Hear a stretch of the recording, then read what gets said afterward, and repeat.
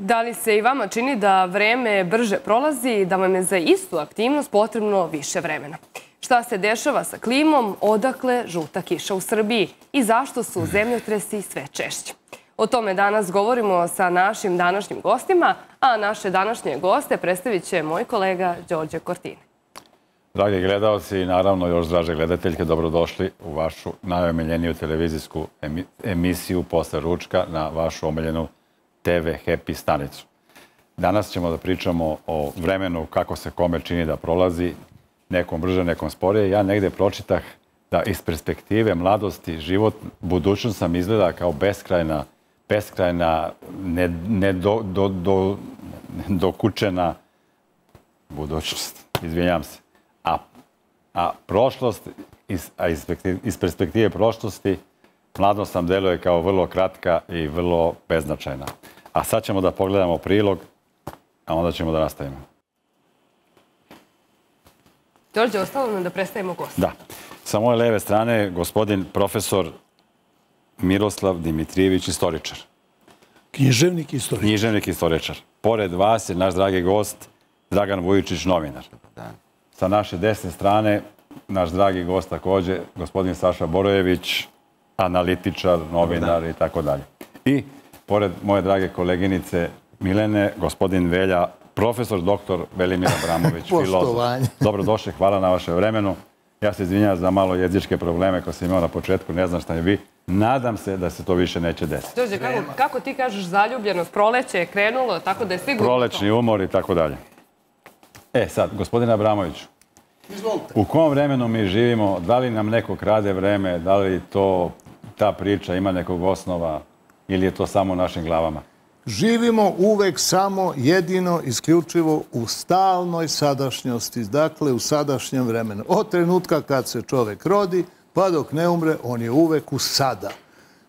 Ta, nažalost, vrlo ozbiljna činjenica našeg iskustva, koja je 100% potvrđena u svim slučajevima i dalje se potvrđuje, je nažalost, bila nedovoljna da u filozofiji, u matematici, u nauci iz toga izvučemo određene konsekvence. Jer ako je stalno sadašnje vreme, onda je ono zapravo beskonačno, jer beskonačnost ne može da se kreće. Pa prema tome su prostor, masa i energija delovi vremena. To je govorio Sveti Avgustin u šestom veku naše ere. Kaže, ovaj svet nije nastao u vremenu, nego od vremena.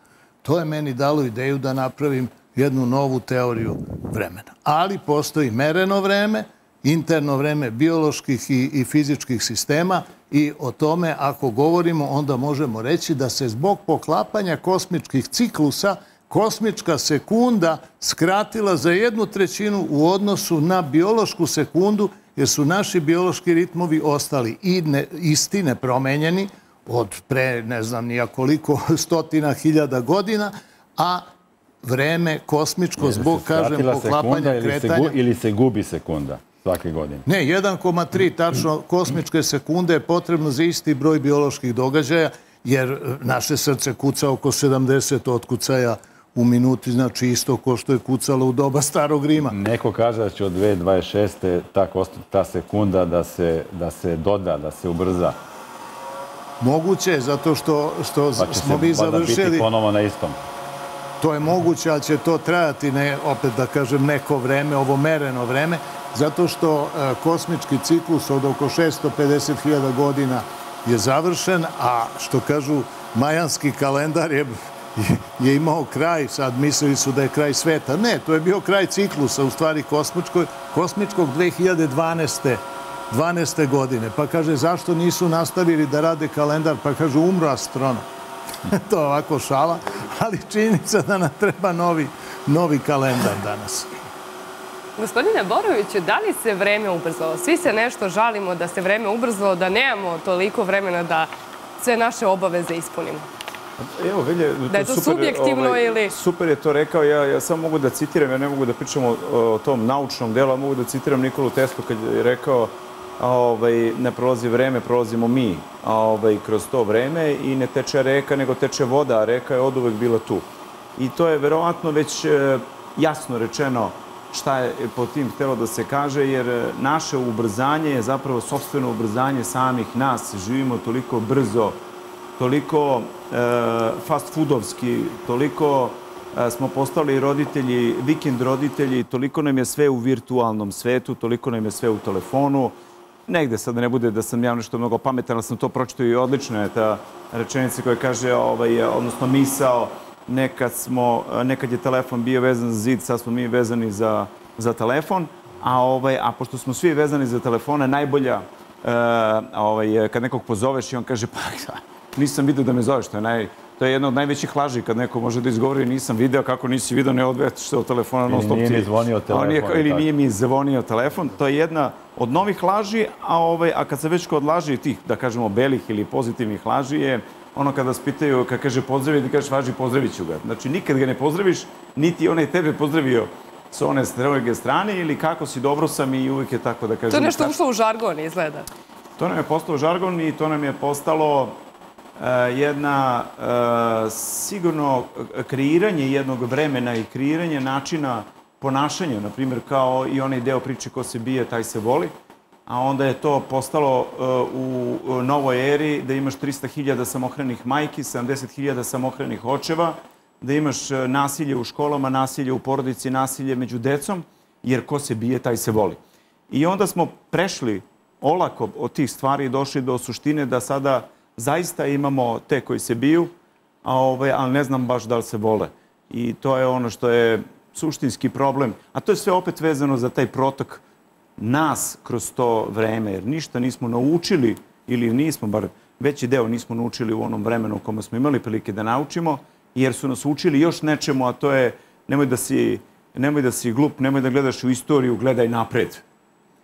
Pa da je to tako, onda ni automobili ne bi imali retrovizore. A ovaj, Gospodine Dimitrijeviću, baš sam vas tada da pitam, pogledali smo prilog, ukrali su nam, fali nam tih deset vekova. Je dobro mi računamo godinu da je ovo 2024? ovaj, vidite, postoji krađe vremena, to je činjenica. Postoji na našem ljudskom nivou, kad, kad kažu, uh, ovaj gubi vreme, dan guba, krade Bogu dane i tako dalje. Međutim, postoji jedan ozbiljan problem. E, problem što su neke nove države, neke nove nacije, htele odjednom da imaju svoje, svoju duboku istoriju, svoju hiljadugodišnju istoriju i tako dalje. I onda su to vreme veštački razvukli na hiljadu godina, tako da su razdvojili neke događaje, pa nam izgledaju fantastično ovaj daleko, kao na primjer Kleopatru i Aleksandra, kao na primjer neke druge događaje. E, to je e, jedna, e, jedan veliki genocid nad e, svim ovim. E, pa ste, e, ako gospod Isus Hrist, rođen na početku, znači pre 2020. koje godine, zašto hiljadu godina posle toga uopšte nije razvijana ta e, kultura, vera, i, pravo, i hrišćanska civilizacija. Zašto? Pa zbog toga što ovaj nije se tada ni dogodilo. Znači, tek to pogledajte kod Fomenka, možete da nađete, a ovaj, to tek kasnije, tek od e, hiljadu godina Eh, unazad počinje nagli razvoj hrišćanstva.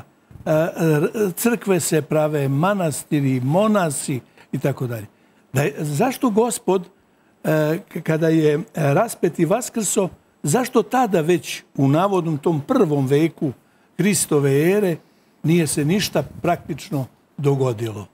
Praktično nema tih objekata, nema tih crkava, nema tih svetih, sakralnih mesta i tako dalje i tako dalje. E,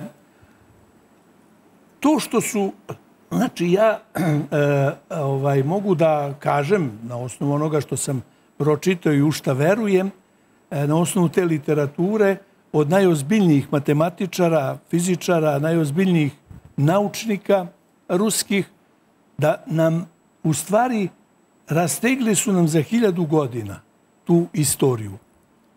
Eto, to je, znači, to je ta krađa vremena e, gde mi u stvari treba da sada e, praktično sve je počelo početkom nove nove hiljadugodišnjice.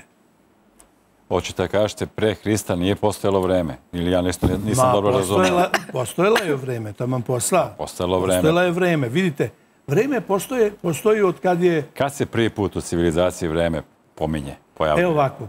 Pojam vremena. Pojam vremena se prvi put pominje u, u e, Rgvedi, gde se kaže, citiram sljedeće versete, stihove.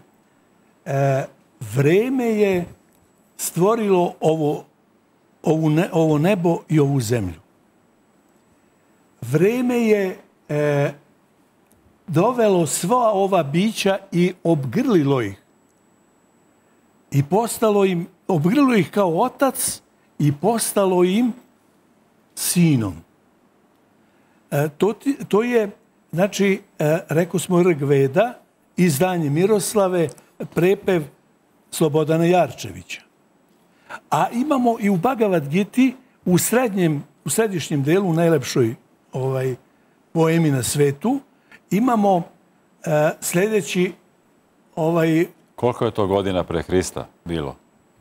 Pa, to je bilo a, hiljadu, sigurno najmanje oko, samo trenutak, hiljadu, oko 2000 godina Pre Hrista. pre Hrista, a možda i, i malo više, ali e, to se sada drugačije predstavlja u istoriji, a nama, e, znači, e, na Kurukšetru, na polju gde su se sustrela dva, e, u stvari dva dela istoga srpskog naroda, Kauri, na jednoj strani Kauri, na- jednoj strani Pandave, i sad Bog Krsna, oni ga prevode kao Krišna, govori Arjunu, a Arjun je srpskog roda, to je vetska civilizacija Srba, i Arjun kaže, pa kako da se sad biju E, braća i braća, ujak e, i nećak i tako dalje i tako dalje.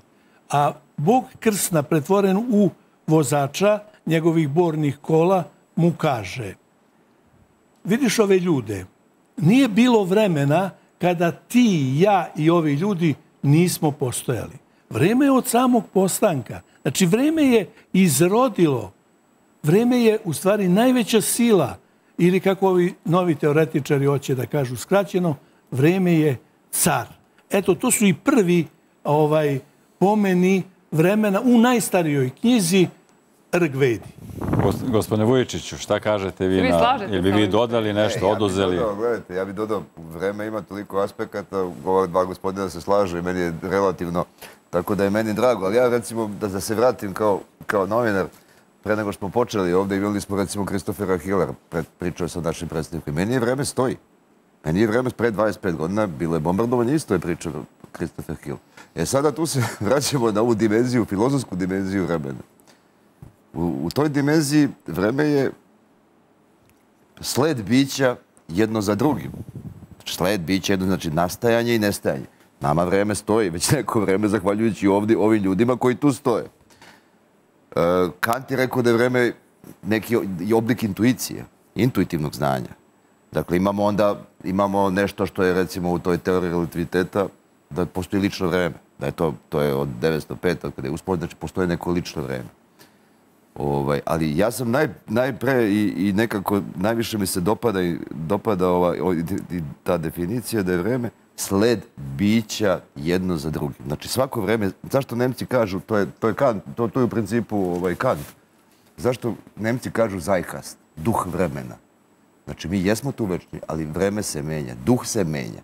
Tako da meni ovaj duh, što smo ga videli na televiziji, kao što vidim duhove, non stop, evo ti Stuart Pitch je duh, koji je bombardovao Sarajevo 95. Kristijan Šmit je duh koji je 91. i druge naružavao, naružavao recimo muslimane i Hrvate. Oni su duhovi, ali nisu u svom vremenu. I zašto propada sada ta njihova cela priča? Pa nisu u svom vremenu. Možda sam i ja, ja imam 59 godina, verovatno je duh mog vremena prošao i ja mogu ovo da pričam, isto kao kod starih ljudi. Duh vremena je sada na mlađim ljudima koji, moraju, koji imaju tu intuiciju, da se razumemo, koji imaju tu intuitivnu inteligenciju, da shvate na kojoj strani je duh vremena. Sem što je na njim, oni moraju biti nosioci tog duha. Inače, kažem, vreme je jedan od tih čudesnih fenomena i Bogu hvala smo se skupili ovako da svi različito pričamo o vremenu, jer ovo jeste suština, ajde malo da kažem, snobovske, snobovske rasprave, ali jeste. On, to je sve ono što, što nas interesuje. Znate, vi ste počeli sa sekundama, ko nama krade vreme, odakle bi sekunde? Pa ako uzmemo, ako uzmemo, recimo, da svi imamo svoje vreme, kao što to kaže teorija relativiteta, da postoji lično vreme, Pa neko nam onda očigledno krade to vreme, svo ovo vreme. Svo ovo vreme pa neko nama krade vreme. E sad, hajde da definišemo šta nam sve krade vreme. Možemo od gospodina Borovića. A prvo, ali, Evo, ali prvo ćemo da pogledamo jedan prilog. Vreme se ubrzalo, pa ćete onda, gospodine Borović, i za prilog da prokomentarišete i ovo što je Vujčić. Gospodine Boroviću, kažu u prilogu da nam traje kraće. Da li je to tačno i ko nam krade to vreme? Pa slušajte, ja bih svakom preporučio da ode na Hilandar na tri dana da vidite kako tamo vreme traje. I kako tamo niste dostupni na telefon, nemate mrežu, imate samo na jednom delu, tamo kada odete kao obali, jedno šest kilometra pešačenja. Uh, ali tamo vreme, ne samo što kažu da je stalo, nego tamo vreme traje. Vi vreme osjećate. Vi shvatate koliko je sati, koliko je ujutru, koliko je u podne. A ko nam krade vreme? Pa krade nam vreme kad gubimo vreme. Gubimo vreme gledajući, ne znam, doktor Kona, Šeklera, gledajući nekakve konferencije, štampu, svađe u Skupštini. E, to je gubljenje vremena. Gubljenje vremena je TikTok, Facebook, gubljenje vremena je e, za e, ulazak u tuđe živote, ko se razveo, ko se nije razveo. I, ti ste, i vi ste tu izgubili vreme. I tom gubljenju vremena, a zatrpavaju sa tim takvim... Nepotrebnim informacijama. Nepotrebnim informacijama. Pošto da kažete, ima mnogo izazova, pa mi obraćamo pažnju na te izazove. Mnogo informacija imate koje vas zasipaju. Pa pazite, evo ja sad dok sedimo ovde, a ovde sedimo 20 e, i manje minuta. Ja imam 63 vesti koji su mene stigli. 63 vesti. Slušajte, a ja sam totalni korisni idiot. Jer ja imam instaliranu aplikaciju, to je do mene, nije to do nekog drugog, što imam instalirano 15 redakcija koje šalju i onda ih ja upoređujem koliko oni lažu jedni drugi, u stvari koliko izmišljaju, dodaju, šta je tačno istina i gde uspevam da pronađem šta je ono što bi moglo da bude suština današnjeg dana. Drugo vreme, e, najviše oko vremena vam lažu meteorolozi.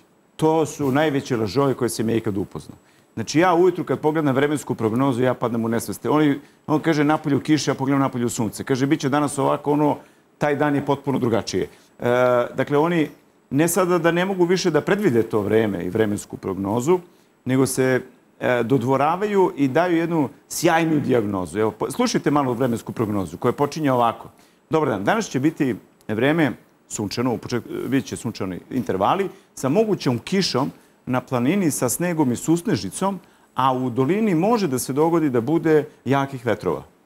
I ti sad ovako staneš i kažeš, čekaj, gde sam sve ja? Sve je moguće. Znači, oni su rekli sve vremenske prognoze, najavili su nepogode i pojavljuju se one zastavice, naranđaste crvene i ona vetar, zašto pokazuje.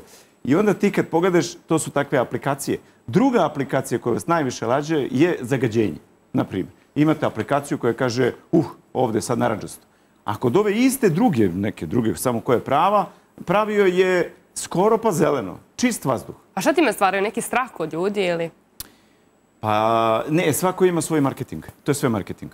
Iza svega stoji e, određeni e, marketing. Naprimjer, jedan moj dobar prijatelj koji se bavi uvozom obuće, on je sada, na primjer, u posljednje dve godine potpuno bankrutirao.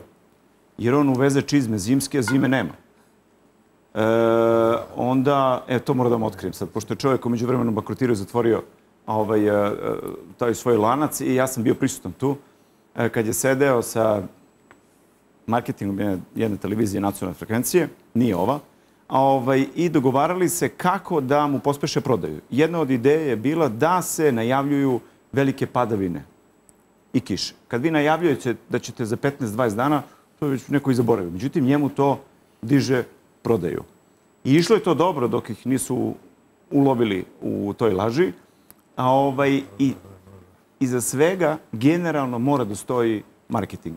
Dokle god idete na zagađenje, vi ćete više imati filtera onih pročišćevača u kući, a sve dok vam govore o tome da će biti ovako i onako vreme, nekako vas drže tu da ste zakopani, da ne možete da se mrdnete, jer nećeš da se krećeš jer ipak je previše hladno ili padaće kiša ili bit će snega. Gospodine Boroviću, ono što je rekao gospodin Dimitrijević, da li se slažete sa tim? Da, slušajte, on, e, gospodin mnogo, mnogo dobro poznaje e, tu materiju i ja sam došao do, do nekog nivoa čitajući Ayurveda i šta sve znači i dokle sam došao, nisam došao mnogo daleko, ali ovaj, e, to i jeste najveći problem.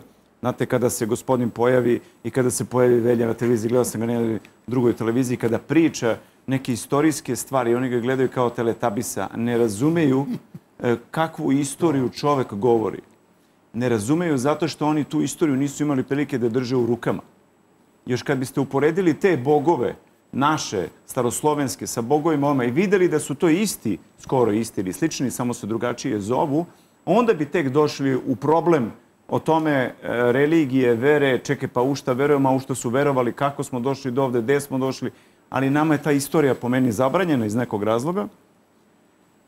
A nadam se da će uskoro postati dostupna svima, jer za sada to ima u po nekim knjigama, sporadičnim koje možda nađete, pročitate i uglavnom vas guraju to da ste vi teoretičar zavere, da lupate i da to nema veze s mozgom, jer ipak treba verovati u Darwinovu teoriju da je čovjek nastao od majmuna, a ovaj, iako neće da kažu da je Darwin bio sveštenik, da je krstio svoju decu u crkvi, da je bio veliki vernik i zaboravljaju da kažu da je to samo teorija.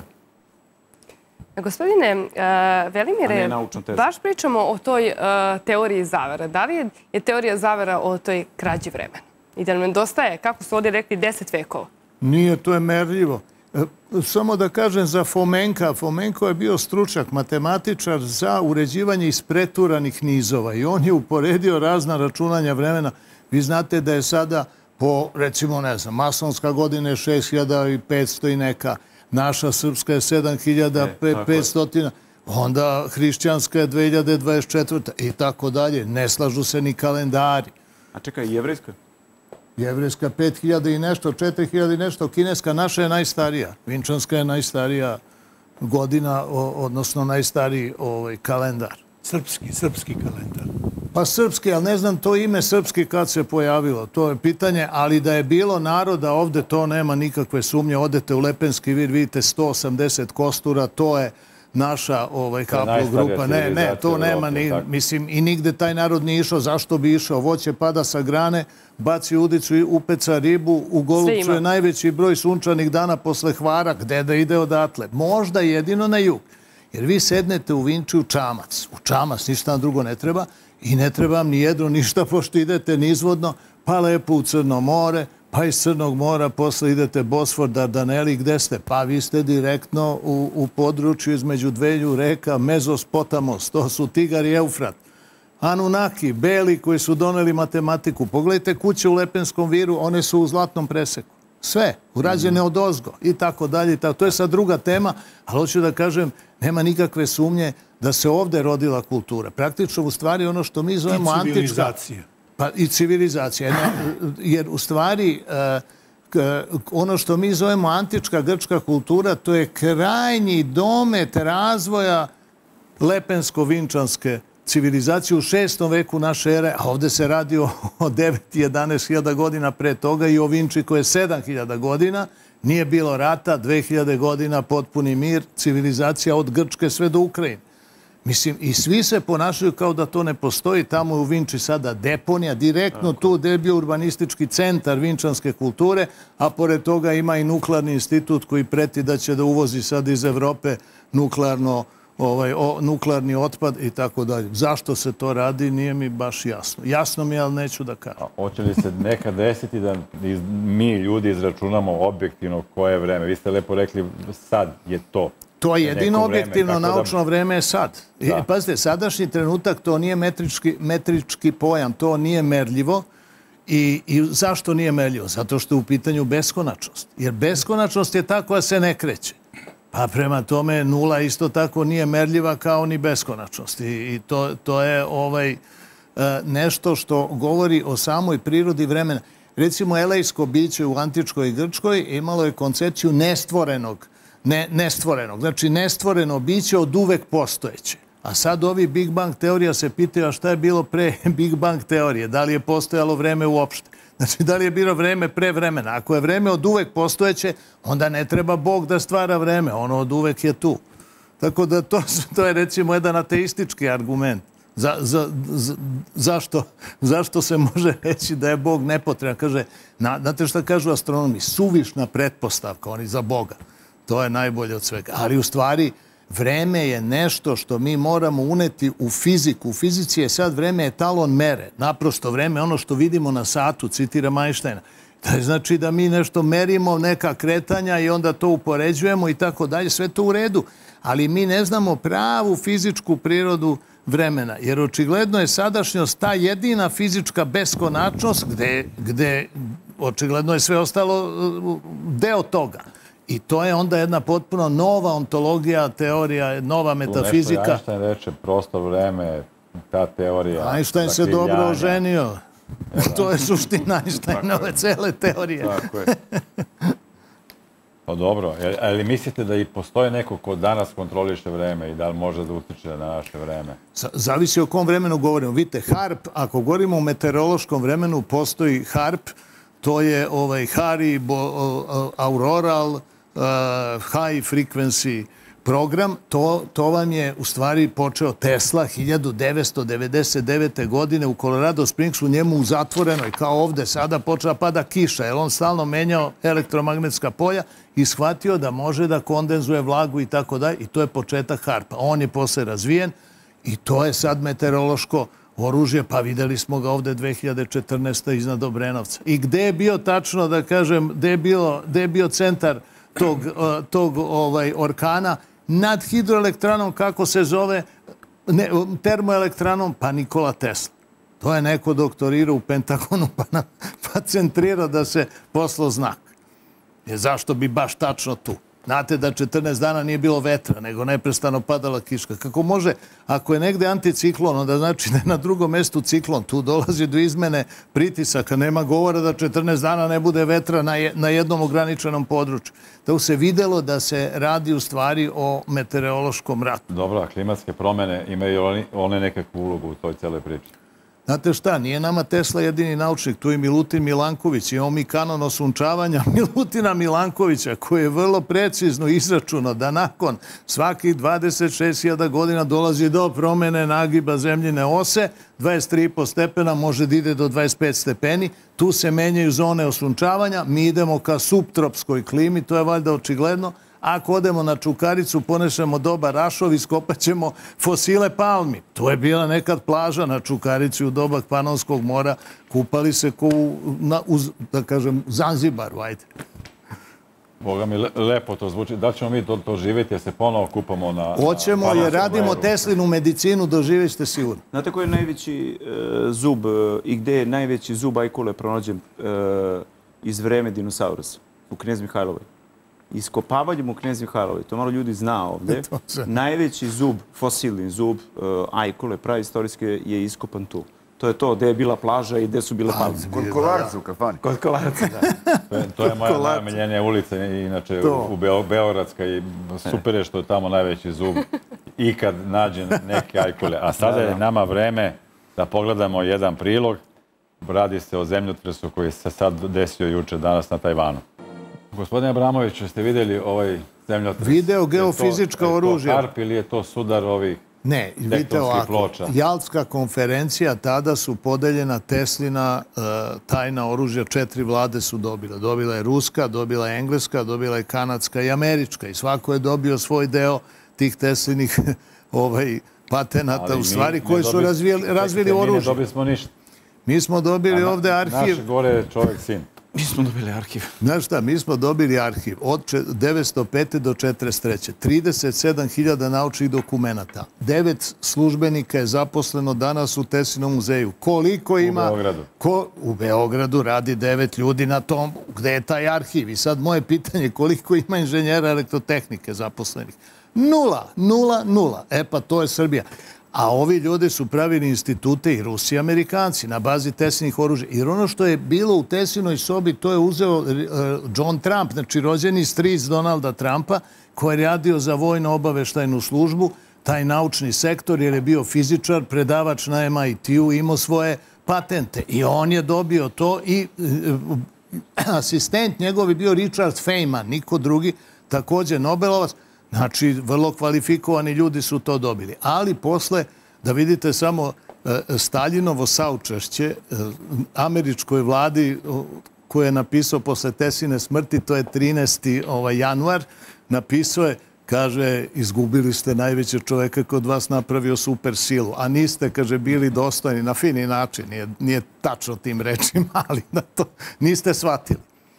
Gospodine Dimitrijević, vi ste hteli nešto da se nadovežete da, na neku od naših priča. Da, sam ovo da kažem da teorija vremena postoji odavno e, ovaj Orfej ili po srpski Sorbej bio je kralj Srba u dolini reke Marice, Raški kralj, on je e, prvi pro, projektovo teoriju vremena i rekao je da je vreme nastalo pre vremena tim rečima. Znači, ovaj, e, ja bih, da bismo se lakše razumeli, napravio jednu, da kažem tako, vremensku busolu. Gde smo sada? U kom vremenu živimo?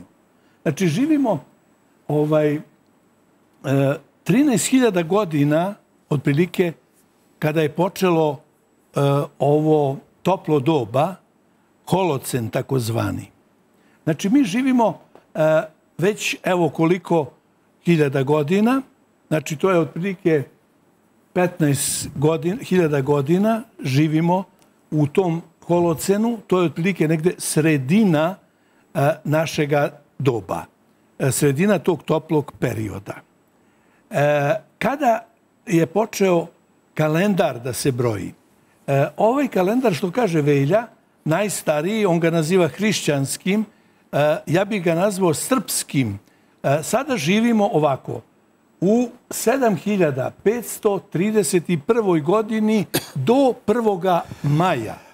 Od 1. maja počinjemo da brojimo 7532. godinu. Da. Zato što je potop E, onaj veliki biblijski nastao, počeo 1. maja. Kako je počeo? Pa počeo je tako što je isušeno Panonsko more, koje nije, oprostite, nije bilo tako duboko, pa su te, ti naši, da kažem, bogovi, divovi, ti, ta civilizacija koja je sišla sa Elohimima, sa Božjim Božim anđelima, sa Nefilima i tako dalje, ona je rešila, probila je Đerdap i sve se ta voda slila u jezero, u Crno jezero, da ga nazovem tako. Međutim, tu je postojala i Nojeva kuća, Nojevo naselje i tako dalje. E, e, međutim, naravno, oni su podučili Noja i druge kako da se spasi jedan deo čovečanstva. Ovo što Biblija priča, to je samo jedan, znači, E, primer e, adekvatan e, kako spasiti čovečanstvo i sva bića koja su tu otprilike. Ovaj. E, zatim, e, to je najstariji srpski kalendar. On se koristio čoveče sve do 19. veka. Do 19. veka se koristio srpski kalendar. E, ne može da nastane kalendar ako ne, ne nastane reč. Prvo smo, znači, u Vinči i u Lepenskom viru imali protopismo, a zatim u Vinči i pismo Lepenskog vira. Ali je umeđu vre, a nije umeđu vre, nego isto vremeno nastoji i broj. Ne može kalendar da se napravi bez reči i bez broja. Reč je koren rč srpski koren rč. Gospodine Dimitrijeviću, govore... pogledat ćemo jedan prilog pa ćemo nastaviti razgovor, a prilog se zove Zemlja ima svoj put. A mi imamo jednog gledalca na vezi. Prvo, dobar dan i ko nam se javlja? Dobar dan. Dobar dan, u programu ste. Da li imate neko pitanje za naše? Ima za vas jedno pitanje. Izvolite. Vidite ovako, zašto menjate vi ovo vreme? Što se to ne može da kaže da se menja radno vreme?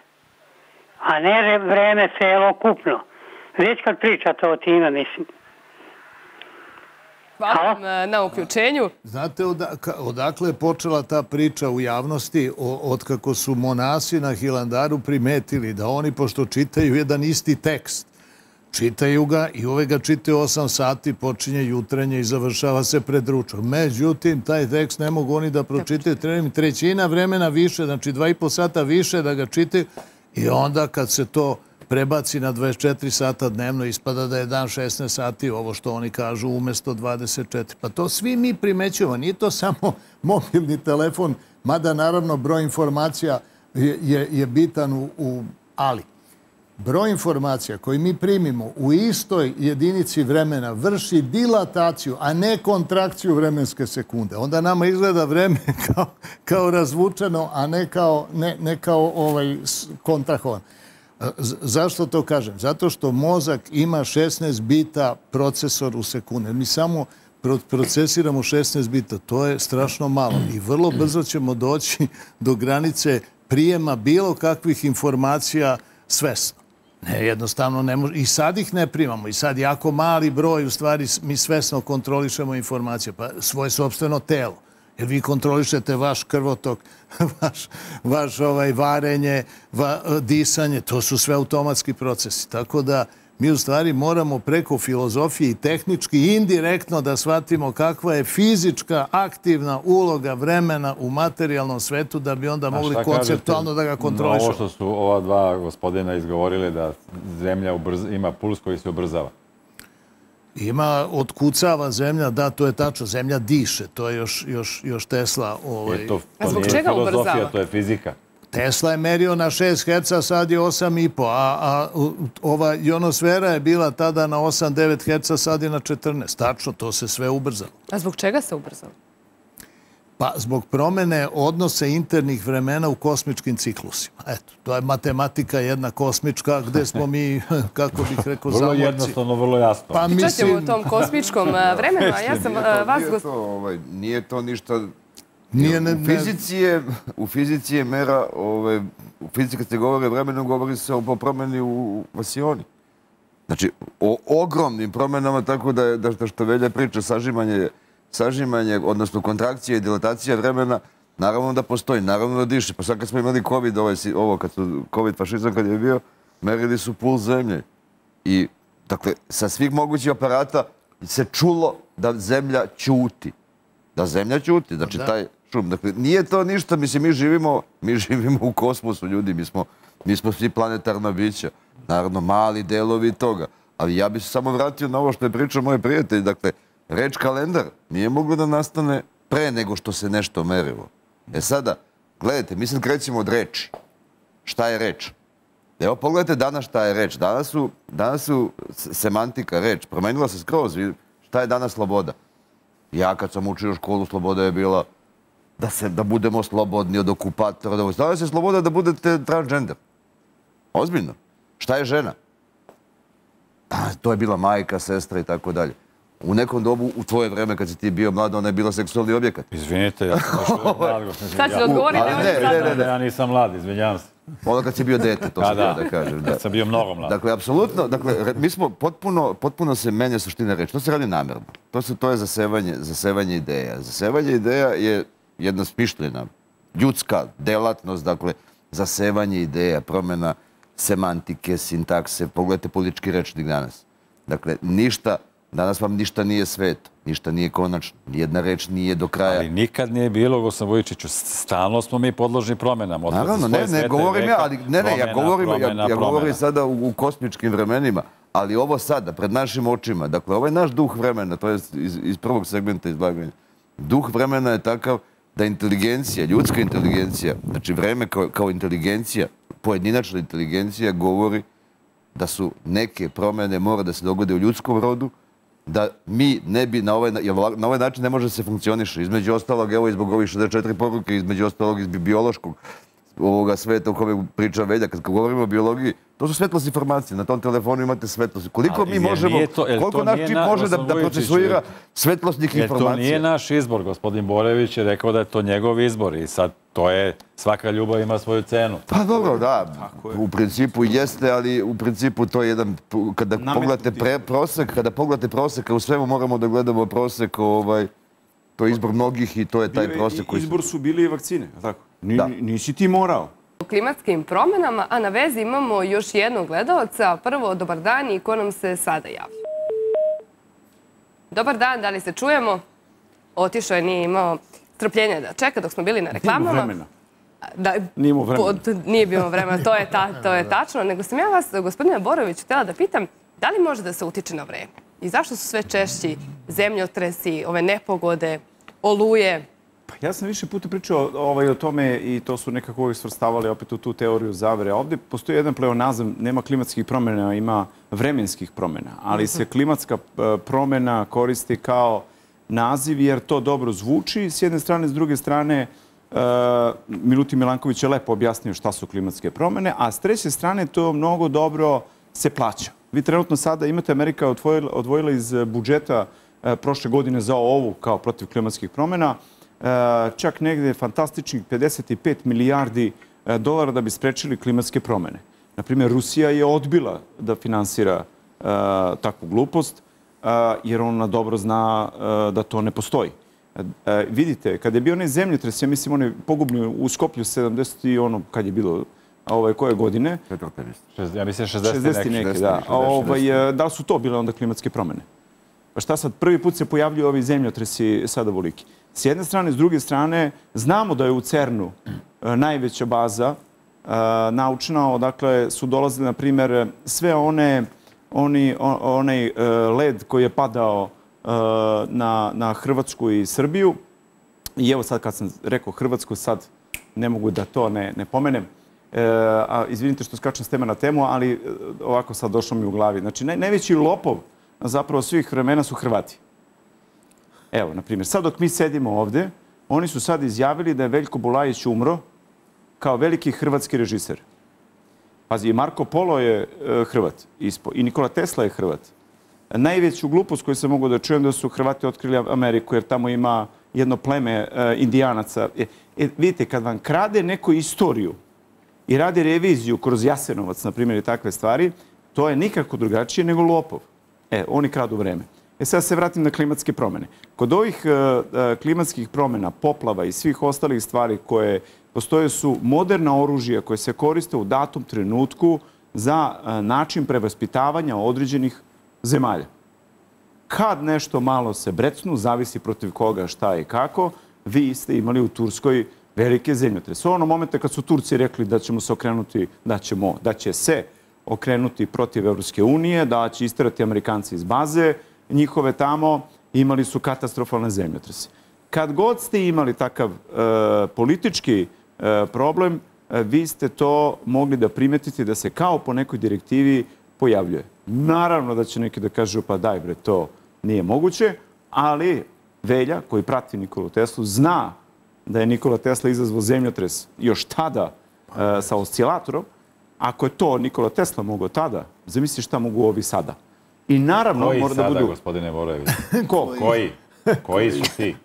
E, koji su ti? Pa svi oni koji e, vladaju svetom trenutno, a to, to oružje znam da imaju Amerikanci, da imaju Kanadžani, da imaju Rusi, da imaju Iranci e, i da su to nova naoružanja do kojih mi još uvijek ne možemo da e, dokučimo i da shvatimo iz ove percepcije jer ona nije toliko javno e, dostupna, ali je naučno dokazljiva. Znači, suprostavljene strane, ne- nekoliko suprostavljenih strana ima isto oružje ili slično. Tako je, zato i ne upotrebljavaju jedni proti drugih. Nego isključivo na zemlje trećeg sveta ili zemlje koje pokušavaju da nešto se otrgnu od kontrole jednih ili drugih. Za, ovo je zanimljivo.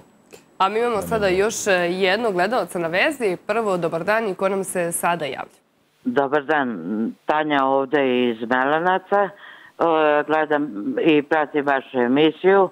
Ovaj, e, htela sam da kažem, razvila sam u banji Rusandi ovde u Melencima, kod Zrenjanina. E, mi imamo jezero ostatak Panonskog mora, Slano jezero i Lekovito blato. Htela sam e, da vam kažem da je, e, je to što kaže vaš istoričar, da je to to što on priča. I to treba iskoristiti i dokazati i želim da prouče Nikole Tesle. Ovo su sve Amerikanci uradili, sve te klimatske promene, e, pokrali su Nikolitu, Nikolu Teslu i ubili ga na dan Božića. To sam sve pratila. I učinite nešto, ovaj, ja sam čitala njegovu kratku knjigu i znam nešto što, što ne bih htjela sad da kažem javno, da svi znaju. Ovaj, pročitala sam kratku knjigu, ovaj, postoji kažite, instrument mi bi svi koji da može znamo. da... Podelite to znanje sa nama, molim vas. Ovaj, mož, postoji i, i instrument ja, koji... I Milena i ja, i gledalci. koji, koji e, postoji instrument od Nikole Tesle koji može da rastepi celu zemlju, zemljenu kuglu. Kod nas nek prouče to inženjeri i fizičari. Postoji, znači, instrument koji može da razbije zemljenu kuglu. Da, na četiri dela. Hvala vam na uključenju. Nikakav problem nije. Šest Velimire, bomba. dalje je to tako. Ne, ma dinamit, pa Tesla izračun, znate kako? Kad vi eksplodirate, recimo, ne znam, tonu dinamita, onda ide talas do drugog kraja zemlje i vraća se. Ako, dakle, pre nego što se on vrati, vi ponovo eksplodirate tonu dinamita, vi pojačavate amplitudu tog talasa. To je isto kao kad ljuljate dete. Pa ono, znate, ba, malo pre nego što se zaustavi ljuška, vi dodate impuls. Za 48 sati zemlja puca na pola. To može bilo koja zemlja da uradi koja ima dinamit. Dakle, Albanija, recimo. Ne mora to ni Amerika, To znači, ni Rusija. To je vrlo prosta operacija pot- mehanička. operacija mehanička. Tesla je izračunao, napisao sve to, ali nije lepo da se to uradi. Nema potrebe da nas udari neki meteoriti da pobije Nema Dinosaurus, odnosno potrebe uopšte za sofistici. Pa ne treba to toliko, znate, za, za destrukciju, prvo destrukcija je mnogo brža od izgradnja, izgradnja traje, traje, traje, destrukcija, vi za čas sve to uništite. Tako da, ako je uopšte ideja da se radi destrukcija i da se od naučnih otkrića razvi, razvijaju oružja, pa to je onda pogrešna orijentacija cele civilizacije. U sekundi koliko može nestane život? A ovo se gleda. Pa da, to ne, onda, onda, sekundi, onda kuda cijela, šta je život? koncepcija uopšte života na zemlji, onda čovekovog, ako sve bude išlo u ovom pravcu u kome sada ide. Neke religije kažu koncepcija života na zemlji da se trpi da bi se u raju uživalo. Pa mi kao Jest. nebeski narod, mi Jest. to gledamo sve od ozgo iz raja, a ne znamo ovi na zemlji šta, šta oni, šalim se. Pa, mislim, vi- vi- vidite šta, Srbi, ajde sad malo kao, Pa Mislim, kao samo- istorijsko samo- vreme. Avramović, imamo, imamo teroriste islamske koji zarad uh, uživanja u raju su spremni da, ne znam, pobiju koliko ljudi i tako dalje. I to je- 72 device, 72 Pa oni device. veruju. Sve device, eto, bravo. Pa znate kako, device, da, i u, od 11. do 13. veka su bili krstaški ratovi. Tad su i hrišćani bili spremni da ginu za veru. Danas ne možda nađete živog, recimo u Vatikanu, da, da pogine za veru. I papa je O bolešnik. tome se, pa da, tako da to je, to je problem. A dok ovi, to je mlada religija, sedmi vek, oni u stvari još da. uvek, pa da, još uvek, eh, još uvek veruju. I to je taj problem. Mislim da vam kažem Pa, jedan nisu podatak. takvi opasni da nas, pomoću tih uzastopljenih eksplozija, da nas unište za Boga, šta njih briga, oni će biti u raju dok nas više ne bude bilo. Ma čekaj, danas nema fakulteta u svetu uh, koji ima nuklearnu fiziku i gde student četvrte godine ne može da vam napravi atomsku bombu, ali mislim, čekajte, je li to cilj Kažu da ima, našeg ima čovečanstva? na YouTube-u, to se napravi Pa samo- nema, pa naravno, nije to problem. Ali postoji nešto drugo, ne znam da ljudi znaju taj podatak. Pre 23 godine, znate koliko je upisano prvaka u, na teritoriji Srbije u prvi razred? 250.000, a ove godine jedva 60.000. Eto, Da, I i bez atomske bombe, i I bez šta nam čisto... to kaže, gospodin Abramović? To Ajmo znači izvučemo da smo izgubili potpuno orijentaciju upravo u vremenu. E, Znate, postoji istorijsko vreme, postoji psihološko vreme, nije, nije samo sadašnjost, to je fizičko vreme, beskonačno. To je dakle opšta situacija. Ali onda imamo lokalnu situaciju gde mi u stvari moramo da manipulišemo i da smo svesni da bismo manipulisali određenim korisnim osobinama internog vremena u, u, u kome živimo. A šta to znači? To znači recimo, imamo 500.000 evra, na primjer, na račun. E, to ne dajemo na političare. Nemamo, ne bi bilo loše da imamo. Ne mi, pa evo ima mi. Evo mi, sad je rekao juče čovek, doktor, on je ovde bio vaš gost, da je 500.000 evra vratio u budžet. Pa zašto se to nije dalo na Teslin institut, pitam ja. Eto, to je dezorientacija srpska u vremenu, u vremenu u kom živi. Ma zato što je morao da vrati. Pa morao da vrati, Nije pa ne. to da je hteo, to je morao, po zakonu. E, pa nek da ostavku ako je tako, mislim. E, Gospodine Vujičić, ja sam vas htjela da pitam, često govorimo o harp. A da li harp utiče na vreme? Gledajte, to nije samo harp, naravno, ovaj, to je čitav niz geofizičkih oružja. Mislim da je čak i ovaj oscilator, taj kod nas u muzeju. Velje, ovaj, taj oscilator kod nas u muzeju.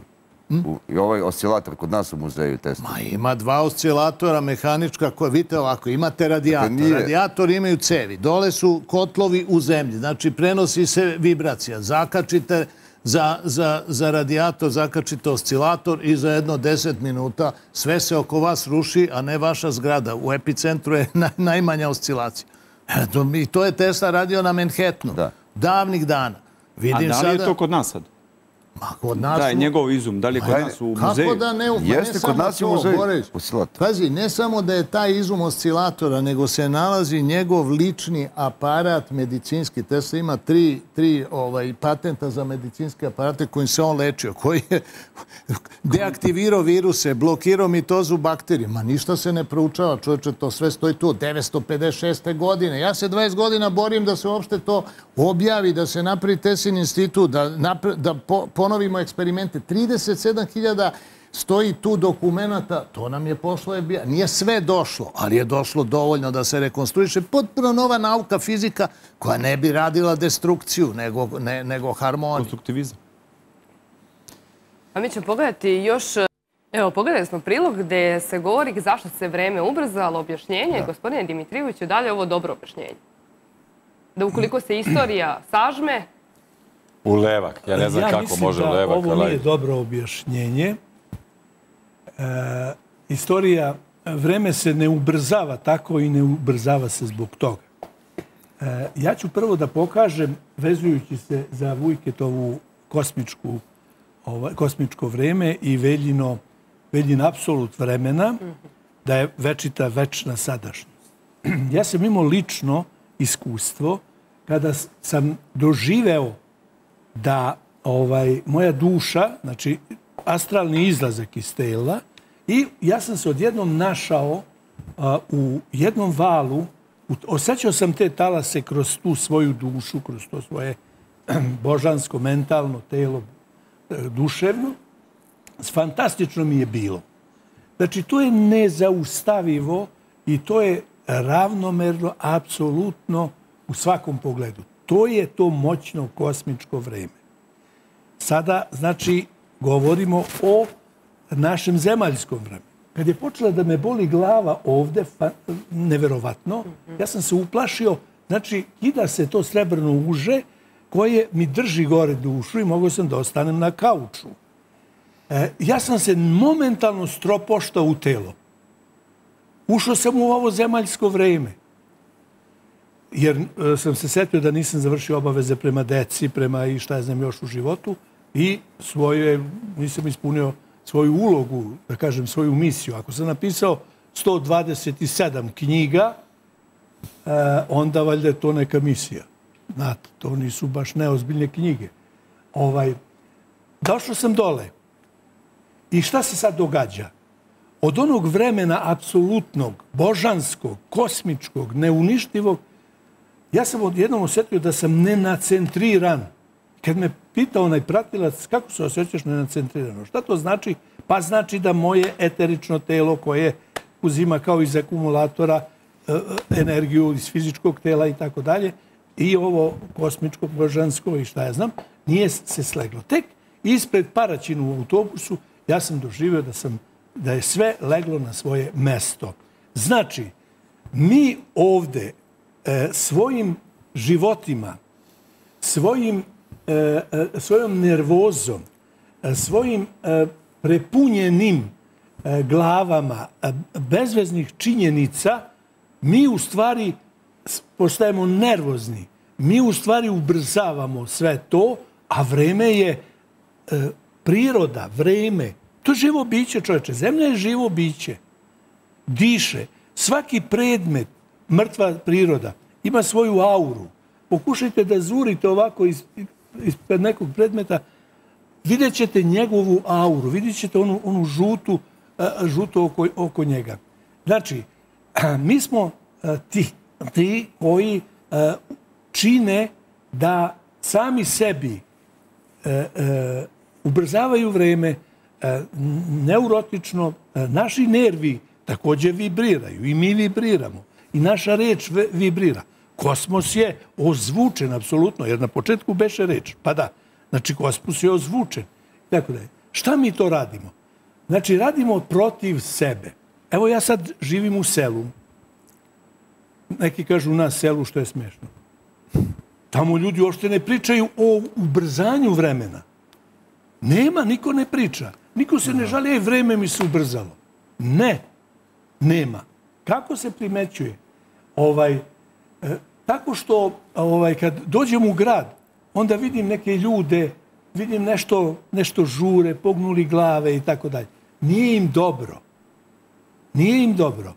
A, ja to pripisujem, znači, e, postoji duhovna strana vremena o kojoj se malo piše, malo se priča. Znači, imamo naučnu stranu vremena, imamo ovu svetovnu, ovo što mi sada pričamo, i duhovnu, imamo naravno. duhovnu stranu, stranu naravno. vremena. E, ajmo to da obrađujemo. Ajmo to da vidimo šta i tu ćemo da nađemo razlog, uzrok zašto nam se to vreme ubrzava. Nije li, I da li se vreme samo na zemlji ubrzava? Na zemljinoj kugli? Gospodine Dimitrijeviću, nastavit ćemo. Prvo imamo još jednog gledalca na vezi. Prvo, dobar dan i ko nam se sada javlja? Dobar dan, dobar dan Svetlana na Dobar dan u programu. Ste samo malo glasnije pričajte da mi vas u programu čujemo i studiju. Dobar dan, želim vam svako dobro i da vam se zahvalim na ovakvom tipu emisije.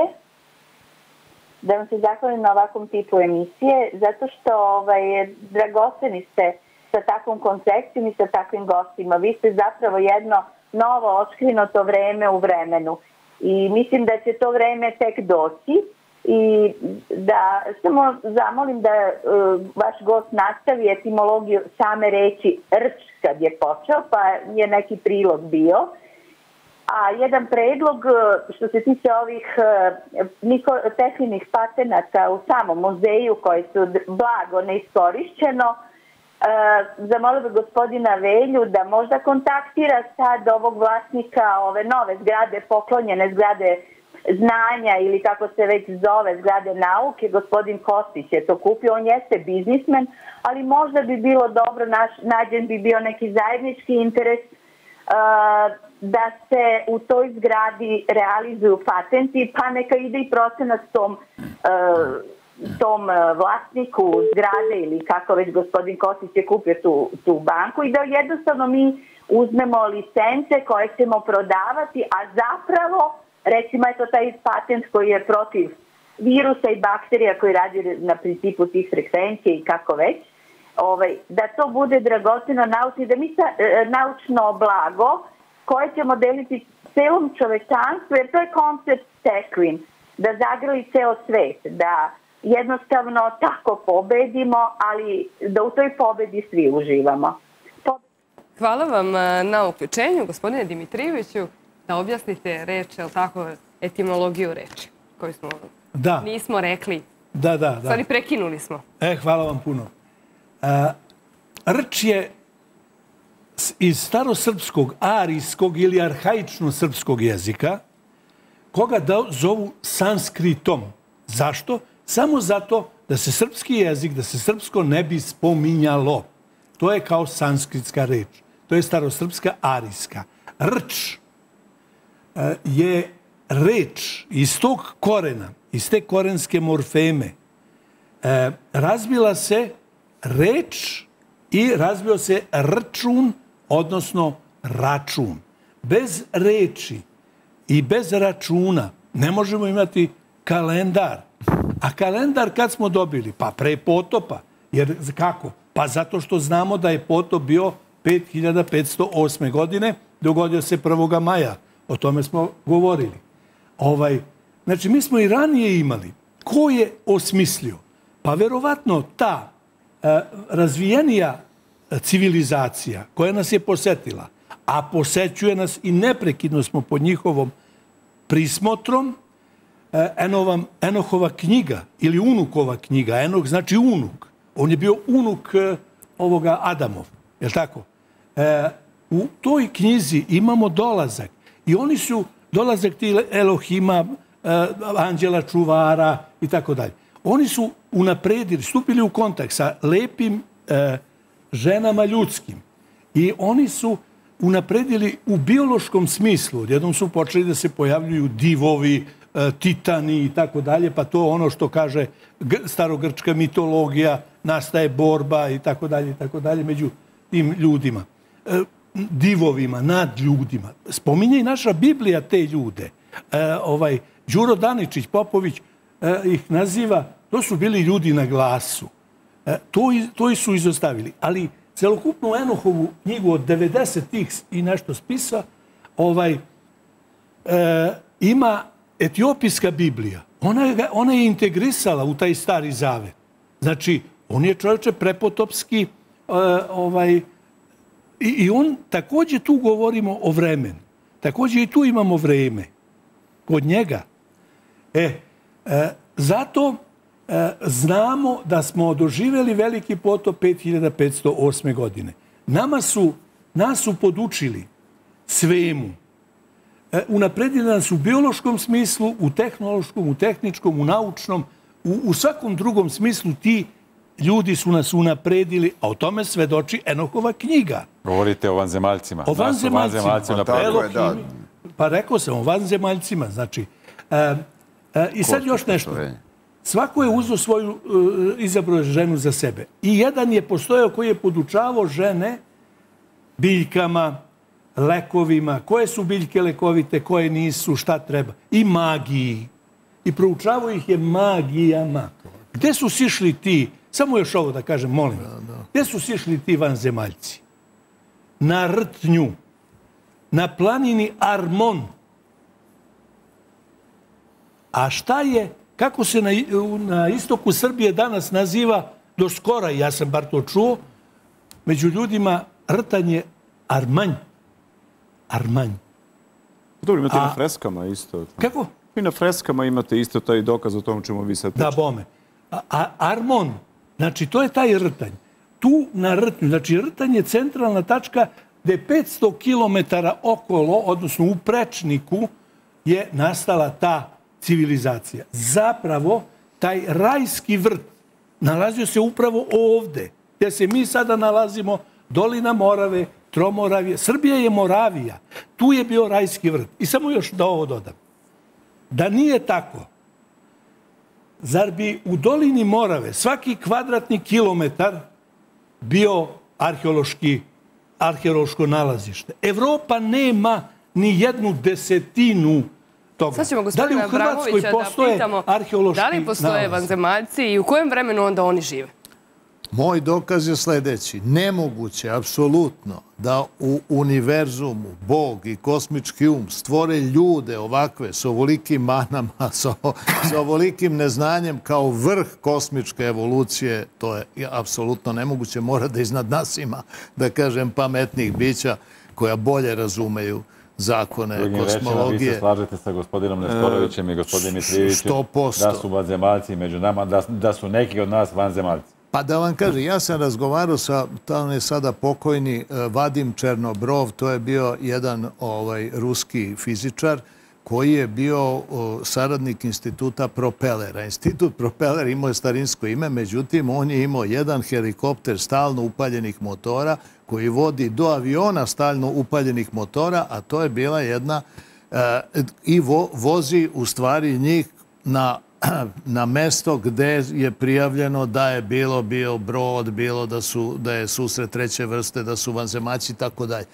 Kaže lično meni, a apsolutno nemam razloga da sumnjam u to čovjeka, kaže 32 puta ja sam, kaže, lično prisustvo, ali nijednom nismo, kaže, mogli da stupimo u komunikaciju. to je njegovo što je. A kaže, video sam, uzle, uzletao je tanjir, videli smo mnogo puta kad su već bili pa otišli razne tragove i tako dalje. Međutim, kaže, mi nismo uspeli kao sovjetska vlada, o tome priča, da uspostavimo tu, tu vezu sa njima. A nego hoću da vam kažem i za, i, i za interesantno, za Kozirevljevo ogledalo u vezi vremena. Nikolaj Koziriv je bio ruski naučnik koji se bavio vremenom. On je smatrao da vreme ima aktivnu ulogu u univerzumu i da u stvari zvezde ne, ne stvaraju energiju na osnovu termonuklearnih procesa fisije fuzije, nego, nego da su to zapravo vremenske mašine, odnosno da tok vremena proizvodi energiju koju, koju zvezde emituju i onda imamo matematiku koja to potvrđuje. Jer ako su nuklearni procesi, mi kad izađemo uveče ne bi pola ovih zvezde mogli da vidimo. Nema dovoljne energije, pošto tako udaljene da uopšte stignu do nas. Došlo bi dva fotona koje naše oko ne bi registrovalo uopšte kao zvezdu. Tako da je on, on je, to je njegova doktorska desertacija, on je radio na Serpuhovo observatoriji. Zašto to pričam? On je napravio nešto što se zove uh, E, E, Kozirevljevo ogledalo. To je od, e, e, od aluminijuma koji je hipomagnetičan. To je, e sad, bio sam u Kerestincu vrlo skoro, blizu Zagreba ima laboratorija, mladi ljudi napravili, ali napravili Kozirevljevo ogledalo, ali ga savili u zlatnom preseku i pojačali, po, poja, pojačali ovaj, Eh, emisiju, odnosno refleksiju cirkonijumom. To su veštački dijamanti. I tako da. Sad vi uđete tu, da skratim priču, i vi vidite sobstveni hologram bez ikakvih lasera. I ako ostanete tu više od 30 minuta, vi prvo, što ste, ali to, to ovaj prvi deo je i u također efekat i, i obično kozirevljevog ogledala, vi jednostavno, pošto je mozak elektromagnetski oscilator, mi u stvari stalno emitujemo elektromagnetske talase određene frekvencije niske. Mi napravimo stojeće polje. I onda svest polako počne da se odvaja od mišljenja. To je ovo što rade jogini u meditaciji. To vam se desi spontano, ali treba da ostanete najmanje pola sata tu. I lagano ste onda svešću kao, kao, kao kursorom u mogućnosti da šetate po memorijskim sadržajima prošlosti, ali i budućnosti. Jeste vi to doživjeli, Gustav Ramović? Pričam vam svoj doživljaj, zato vam pričam moje iskustvo iz Kerestinca. I to je, ovaj, i sad šta? Vi, u stvari, kada tu dugo stojite pred sobstvenim hologramom, uskoro počinjete da stičete jako visok stepen koncentracije koje možete da emitujete emitujete misiji napolju i uspostavite telepatsku komunikaciju sa ljudima koji su oko ogleda, ne nalaze se u zoni ogledala, nego u sobi. Jesu uspostavili tu komunikaciju? Sve vam to pričam iz iskustva. Na osnovu iskustva? Na, na, to je eksperiment, naučni. To je ono kakve su ti misli, takav ti je život. To je fizički eksperiment Kaznačajeva ovaj, i na institutu Kaznačajev. Belja priča o... o... Kaznačajev je učenik, učenik Nikolaja Kozireva, to je njegov dakle, učenik. To je taj Novosibirski institut koji radi danas, ja sam bio u Novosibirsku, ovaj, to je institut koji pa, radi dan danas, to je ta Sibirska akademija nauka i oni su te eksperimente radili nad večnim ledom. Zašto nad večnim ledom? Zato što je voda pamti. Ma, ma koliko, ko šta pričao, ovaj, voda pamti, to je naučno dokazano nešto je naučno dokazano, nego ovo je sad baš francuz, budućnost lekova je u, memori, u memoriji, u memoriji ovaj, molekula, vode i tako dalje. Znači, u 88. kada se Jean Ben Medis, kada je to prvi put dokazao, 88. u, Južnom Parizu, na njihovom univerzitetu sa 15 naučnika, dakle, oni su njega ismijeli da voda može da pamti. Kako je on to napravio? Pa jednostavno uzeo je sadržaj koncentrata i stavio je u ovu čašu i naravno ima određe koncentracije vode. E kada se to razredili na milijardu, na milijardu, na, na, na sadržinu, znači milijardu čaša, oni voda i dalje pamtila. Šta se dogodilo tada? Tada se dogodilo jedan državni udar, naučno državni udar, da je časopis Nature, najstariji naučni časopis na svijetu, britanski angažavo čak, i scenskog bađoničara da Smetelju. To je bilo 15 ljudi. Ben Mevis je bio profesor univerziteta u Parizu. 14 vrhunskih naučnika. Oni svi se povlače i beže da ne ispadnu. Znači, to ono kancelovanje je prvo. E sada, ovaj drugi francuz, što je umro 2021. godine, kako se zove Francuz što je isto bio anti protiv korone, ovaj, Nobelovac Montaigne. Dakle, on je, on je čovjek koji je te lekove nastavio da razvija i on je ta. Inače, oko Montaigne mogu da ispričam jedan, jedan divan događaj. Dakle, mi smo pokušali, Montaigne je bio jedna, jedan od tih glasova razuma tokom COVID fašizma i mi smo trebali da stupimo u kontakt, pošto je bio u kontrasmeru od ove zvanične nauke i mi smo trebali da stupimo u kontakt s njim i nekako smo dobavili njegov telefon i dali smo našem dopisniku iz Pariza, Goranu Čvoroviću, našem divnom prijatelju, da proba da ga dobije. U to vreme, znate, bilo je to jako teško i šta je tražio Montenje? Da poznajete vi Novaka Đokovića? I on kaže, pa kako ne poznajemo Novaka Đoka, A stvarno, ovaj, Goran, pošto Novak je tamo igrao u Parizu, i onda smo mi preko toga, da se on kaže zdravo, da mu Novak kaže zdravo, stupili sa Montenje u kontakt i mi smo dobili taj intervju. Dakle, Montenje je Nobelovac, jedan od, jedan od ljudi koji su, koji su zaista vrhunski autoritet, koji, koji u principu razrađuju tu tezu od Kozireva, odnosno o teoriji pamćenja, vode. Zašto je led? Pa zato što je stav stotinama hiljada godina, u njemu je pamćenje. Zašto, zašto smo mi okruženi sa, sa, sa tri četvrtine vodom? Zašto? To je istorija voda. kosmosa, verujte mi, pa istorija kosmosa stavno je u vodi. Mislim, ja, ovo su intuitivna znanja. Ovo su intuitivna znanja Zašto mi ne možemo da budemo gladni? Zašto ne, može, zašto ne treba da jedemo, ne znam, one cvrčke ili brave ili šta je znam? Pa ljudi, tolika njiva od okeana je oko nas. Pa pogledajte kada letimo. Dakle, postoji nešto što se zove taj naučni establishment, korumpiran je. Korumpirani naučni, nauka je mnogo korumpirana, strašno, to smo sada videli, ali ovo, na način na koji to sada sa nama rade, To je nešto... Zamislite da, da budemo gladni, a imamo okean oko sebe. Zamisli, zamislite kogod je sve u avion pa je putovo, ne znam. Pa video je svetla, valjda. Gde, je osvetljeno, gde ljudi žive. Ova planeta može da ugosti, ne da ugosti, nego da živi 30 milijarde. Vidite, mi sad imamo eugeniku neku, ovaj, to nije neka, nego ovo je ozbiljna eugenika. Ovaj, Velja je rekao jed, jed, jedan podatak, imate novih činjenica. Pogledajte samo, samo nek neka objasni Gospodine zašto je... Zašto, izvolite. Ja moram vas prekinuti, ali zapamtite gdje se stavi. Molim vas, vreme nam je za prilog. Sad ćemo pogledati prilog, onda ćemo se vratiti pre svega na vas, a mi ćemo posle da prokomentarišemo ovaj prilog. Da li vam se čini da, iako radite sve isto što i pre, da nekako vreme mnogo brže prolazi? Mnogo brže prolazi. A zašto mislite da je to tako? Pa od užurbenog načina života najverovatnije. Stalno negde žurimo, više obaveza imamo, više nego što je pre nekada bilo. Ovaj, jednostavno tako je. Ja imam sad dosta vremena, sam penzioner, ali ubrzan je život i manje, ljudi manje imaju ovako vremena. Pa moramo se prilagođavati na ovim društvom, pošto sam uh, u, u nekom brže, brže se živi nego što je pre bilo. A šta se to promenilo? A ljudi, najviše se ljudi Pa znate šta, do jedno pre 3-4 godine to je bilo tačno i nikako ništa nisam stizala. Međutim sad, kad sam u nekim 60-im, to mi sve tako fino prija, imam puno vremena, čak više izlazim, više gledam filmove, sad je u Raški počeo da radi i bioskop, ništa ne propuštam i sve stižem. Da li je to u stvari kako čovek sam sebi odredi nešto u glavi i onda to ispadne da imate vremena a kad žurite, onda uglavnom nemate vremena. Ja sve sad polako i sve stižem na vreme. Pretpostavljam da takav utisak ljudi imaju, pa ja prvenstveno zbog e, obaveza koje idu s godinama. Mislim na porodicu, na poslovne obaveze, e, mnogi od nas rade i neke dodatne stvari kako bi obezbedili, da kažem, ovaj, svoju porodicu i rešili neka egzistencijalna pitanja i možda obezbedili neka sredstva za nešto dodatno za ostvarenje nekih želja, rešavanje nekih problema i slično.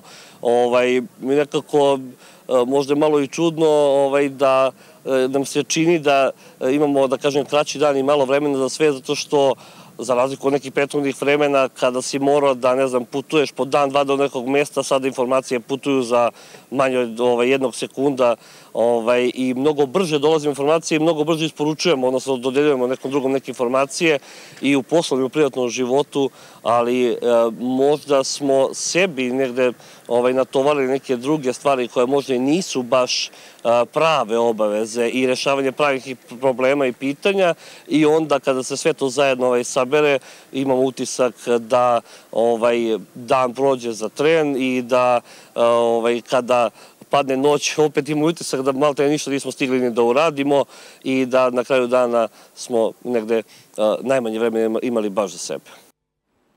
I kao što smo obećali, gospodin Vujičić će nastaviti svoje zanimljivo izlaganje. Pa dobro, koji zanimljivo izlaganje. Ovo je, kažem, ovo je intuitivna pamet koju mi imamo. Ja sam, kažem, proveravao, ne samo da voda pamti, nego ovaj, zemlja pamti, zidovi pamte. Zašto, zašto se osveštavaju prostorije? Zašto kada, kada u principu pogledajte to sa ovog običnog paganskog, na našeg ovog nekog nivoa, zašto vi kad uđete u nečiji, u nečiji prostor, kupite stan, zašto ga krećete, bez obzira što je to, šta je to u vama što vas tera da promenite to? Ja sam, kažem, imao priliku pamti kako Beograd pamti. Moj prijatelj Dušan Kovačević, radiostezista, ja, on je poznat u ovaj, ko hoće Obećali da ga zna. Obećali ste da će ga poslati u emisiju. Radio, da, da, pa bio je on kod vas već ovdje, nije problem. Ove, dakle, u jednom trenutku kad smo pričali radio stezi, njemu je taj Božiji dar ovaj, dat nakon, nakon ovaj, kliničke smrti koju je imao i sada zaista, i sad da, da bi proverio njegovo znanje, ne njegovo znanje, nego to što pričamo, on je pozvao, hajde da idemo na, na, na turneje po Beogradu, da vam pokažem mesta koja su, gde, gde je najveće radosti, mesta gde, gde se, ovaj, gde se ovaj, te rašnje sklapaju i koje pokazuju, dakle, pokazuju vrstu tuge. Jeli. I onda smo otišli, naravno, na ušće, tamo gde je, ovaj, gde je bio logor, sajmište. Rašnje su reagovali, tako su ga jako udarili u grudi. Zapamti da su jad, bol, čemer i tako da. Odičite na krajem Svetog Save, da vidite kako su se rašnje raširile. Neče, sa moja majka je bila u tom logoru sve vremena. Ovo, otišli smo posle na, na jedan nadvožnjak ovde, gde, gde su ljudi, gde ljudi dižu ruku na sebe, smo skaču, izvinite, na jednu zgradu gde mi je to također pokazao. Onda, onda smo pokazivao mi neke sretne i neke tačke Beograda i neke tačke Beograda koje su, eto, zašto? On ne zna zašto je to tako, ali jeste osjeća cedni svojim bićem. Dakle, to je ono, sve pamti. Zidovi pamte, slika pamti. Zašto su vam, zašto, to mi je on ispričao, po budući da je radio na Bliskom istoku dugo i tamo je istekao to ime i ovaj, sve što je stekao, dakle, u zemljama Emirata najbogatiji ljudi su ga zvali kad su pravili kuće, pa da vide kakva je energija. I sada, recimo, on kad je ulazio, njihovi tepisi, oni poznati, popularni persijski tepisi, kaže, uvek kada je dolazio, te raše su toliko udarale ga u grudi. Zašto? Zašto nastaju deca od 7-8 godina? Znači, dečije patnje, oni tamo po ta deca, verovatno iz Afganistana, gde se plete ta svila, po ceo dan sede tamo i pletu. I onda su ti imućni ljudi, šejici i tako dalje, tražili da se to spakuje, da se skloni zbog njihove, zbog njihove sveukupne sreće u životu. Mislim, imamo... pričat će vam on te detalje, da. da, da ja sad ne prepričavam, ali ovaj, jako je bitno živjeti, živjeti u harmoniji, jako je bitno živjeti ima, u pozitivnim Tu ima i nešto što je vrlo popularno u Srbiji i u svetu, zove se Feng Shui, koji isto nešto te uči kako da urediš stan da bi bio srećan, da ne pogrešiš, kako pa da sve, gledajte, to je, da bi se obogatio i tako. Mi to sad zovemo različitim imenima zato što dolaze iz različitih nasledđa i dolaze kod različiti majstori. Sad, to sad oni zovu master klas. Ja imam master klas iz joge, a ova ima master klas, ne znam, naš sveštenik koji je završio bogosloviju i koji se naravno bavi teologijom. Naravno da je i on neki master klas, ali to je, to je ovo vreme. To je isto je produkt jednog vremena, isto je produkt da mora da bude loše, naravno. Moramo da, da, da razumemo o čemu se radi. Moramo da razumemo da razumemo kako svet funkcioniše i kako funkcioniše, kako mi funkcionišemo, kako vreme funkcioniše i koliko smo mi stvari mali u vremenu i koliko smo mi, ali smo bitni. Iako smo mali, mnogo smo. Moment, da razumemo svet. Milena ima uključenja, onda ćemo se ponovo vratiti na vas. Vrlo ste zanimljivi u ovoj priči. Đorđe, kako ste mi najavili ovo? Naravno, imamo uključenje. Prvo, dobar dan i ko nam se sada javi? Dobar dan. Dobar dan, da li se čujemo? Čujemo se. Ja se zovem Dragomir Stanković, zovem iz Leštana. Htio bih da pohvalim temu. Tema je važna i divna. To je nešto što i ja izučavam zadnjih 30 godina Biću kratak. Možda se zadržati teme ko nas je ubacio u taj voz koji ide sve brže i brže. prvo su nam obećali da ćemo kroz prozor gledati lepo krajolik i prirodu, sad toliko brzo ide da ništa ne stižemo. Pitanje je ko je bašinovođa tog voza i kako iskočiti. Ali ovaj, odgovor imamo i na više mjesta. Ono što je mene dotaklo da tu temu, to je ovaj kada sam čuo tumačenje iz Kurana Šejk Imrana Zara da kaže kada godina bude kao mjesec dana, mjesec dana kao sedam dana, sedam dana kao jedan dan, Malhama je blizu ili ti Armagedon. Znači, e, nas je neko napravio takvim svijetu, su mi toliko bombardovani informacijama, da mi prosto nas nije kreator Bog napravio da možemo da tolike informacije primimo. Nismo prosto napravljeni za to.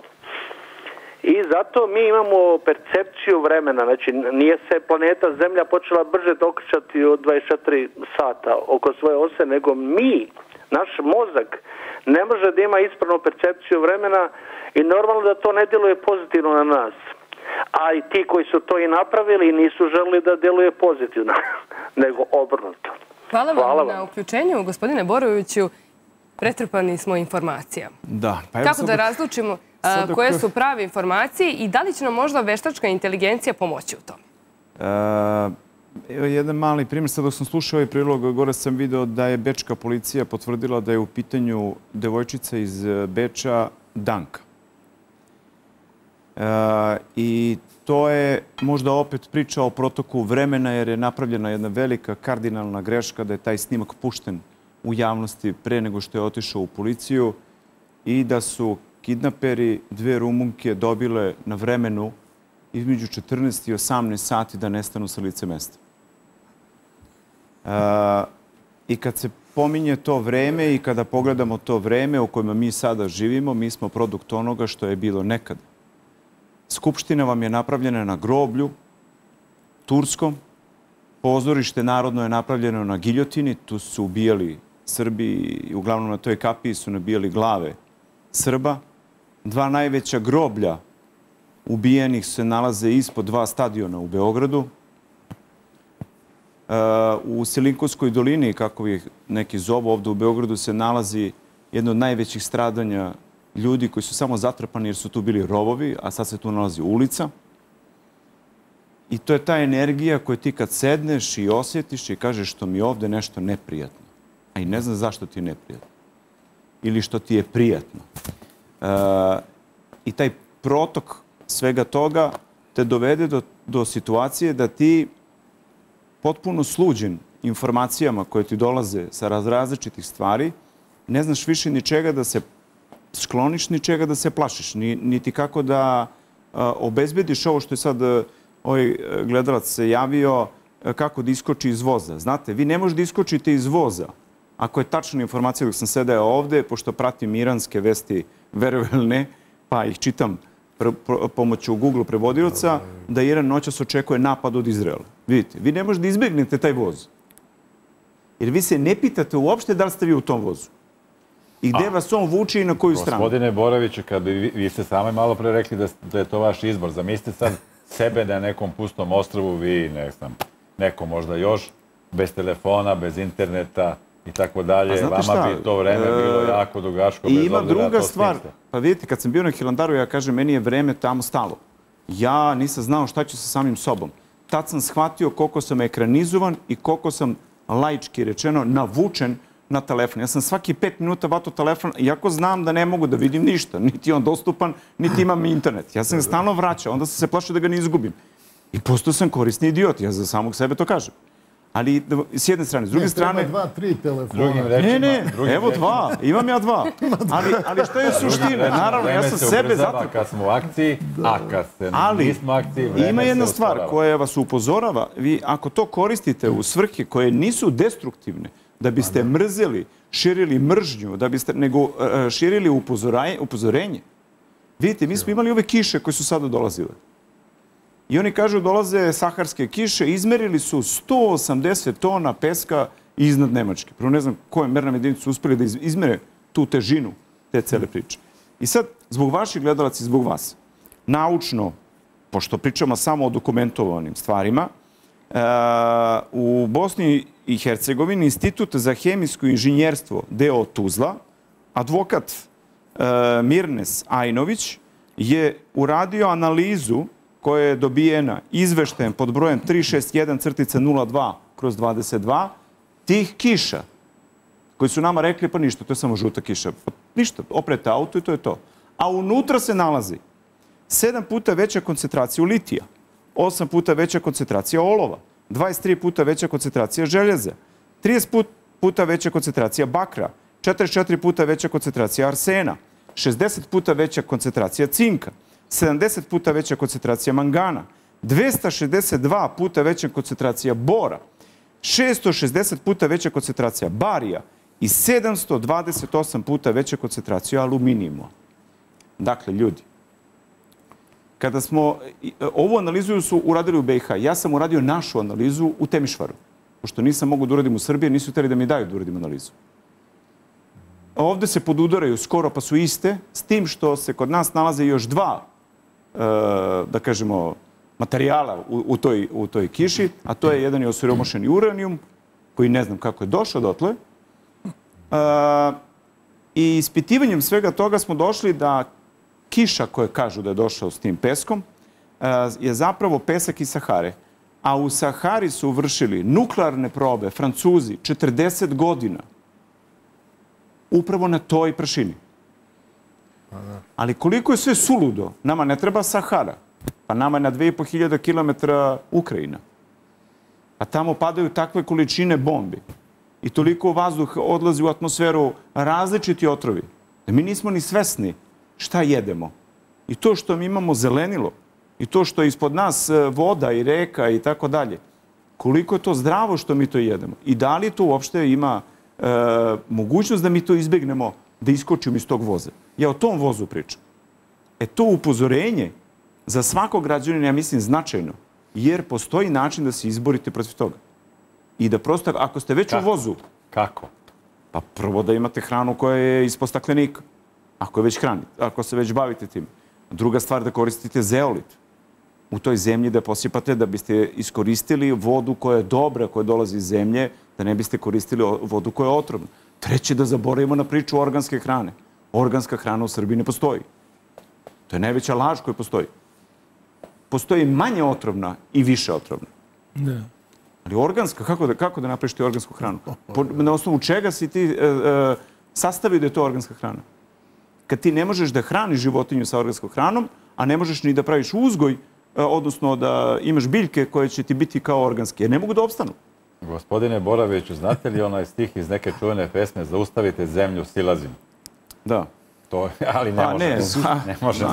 Smem da dodam podatak samo na ovo što kaže čovek. Pre drugog svetskog rata krematorijum je radio 300-350 stepeni, mogo si da spališ čoveka. Ispod hiljadu nema govora, pun teških metala i tako dalje. Ovo čemu on priča? Ispod hiljadu stepeni, upitajte.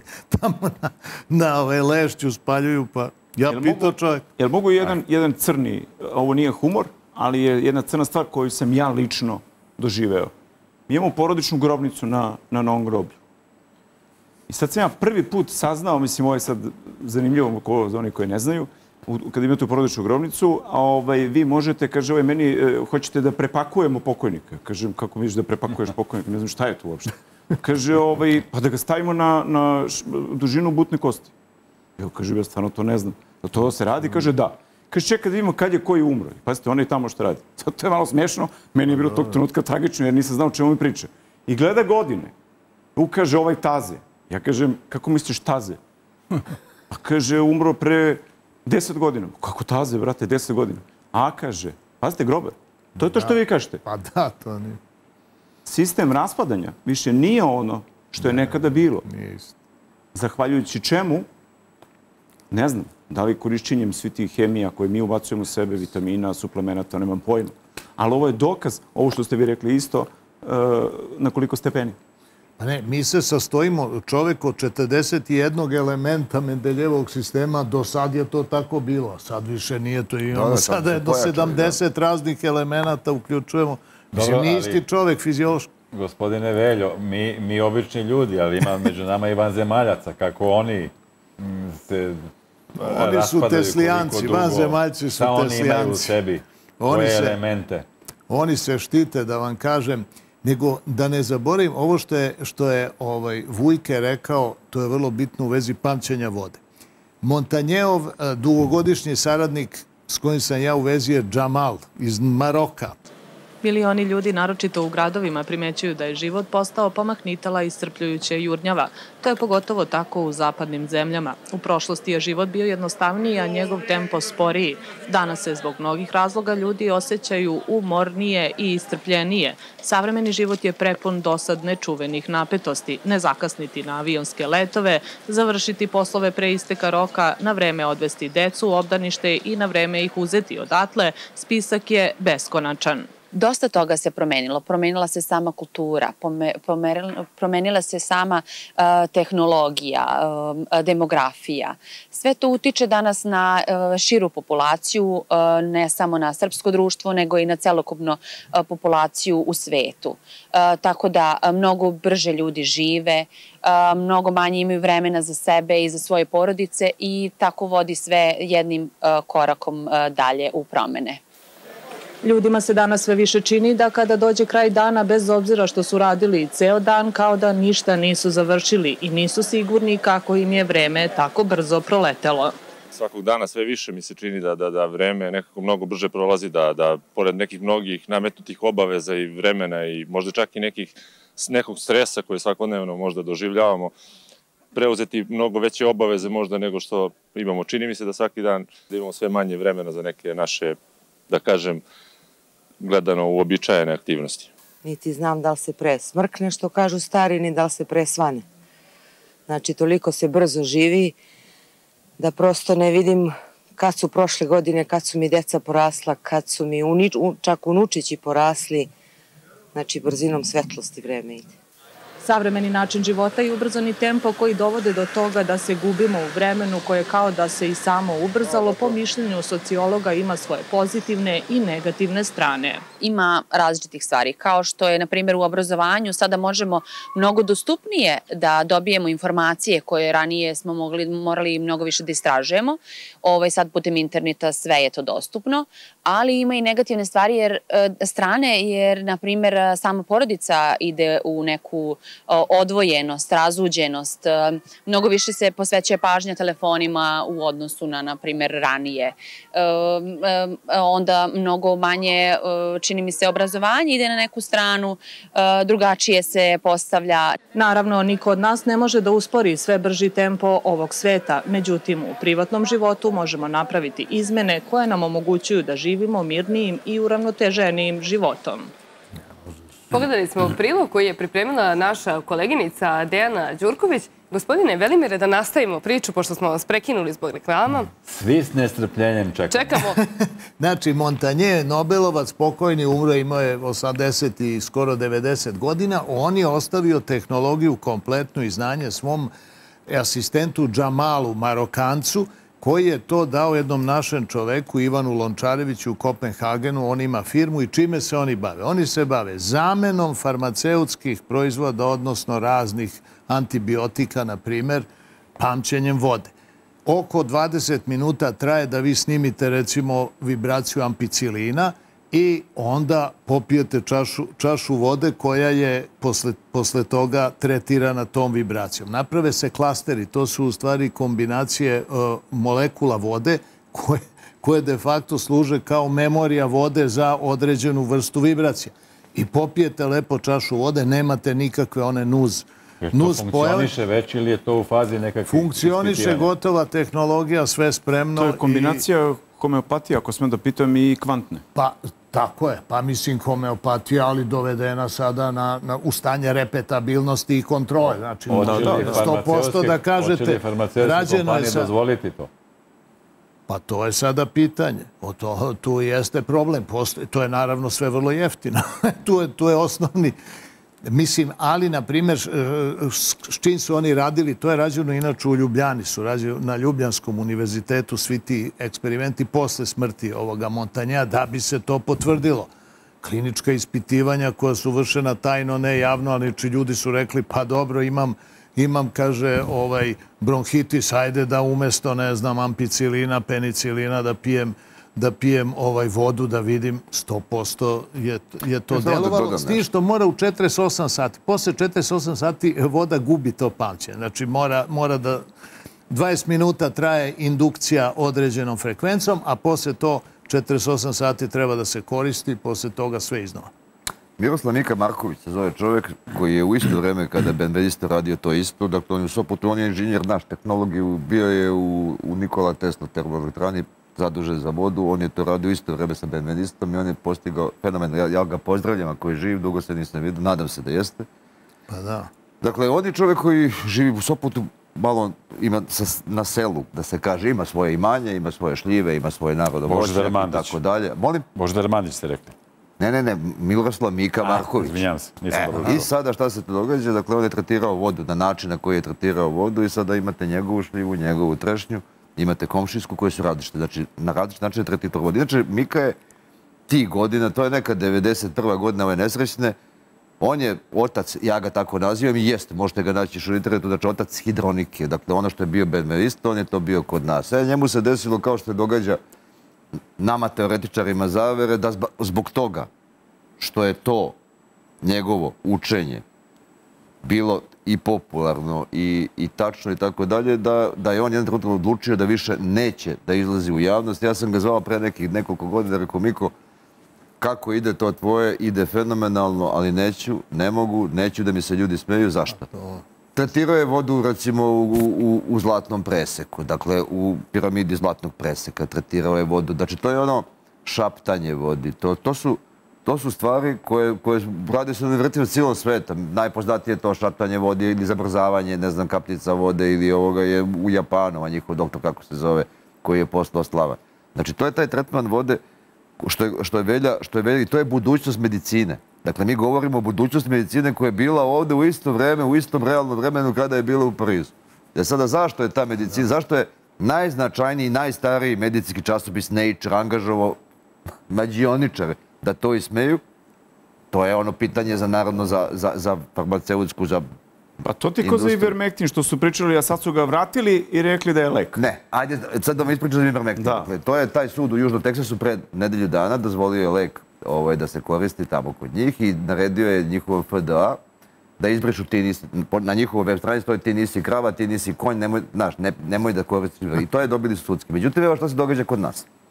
Kod nas se događa jedna naša, moja koleginica, inače javna ličnost, neću, nemam dozvolu da govorim njeno ime, hematološki je pacijent, i ovaj, budući da je, da je tretirali su je sa jakim lekovima, njen hematolog je prepisao Ivermectin, ne znam, dva dana da pije. Zašto? Imala je neke češala sa toga i to je, to je verovatno od, tih, od virusa, odnosno od parazita, od čega već.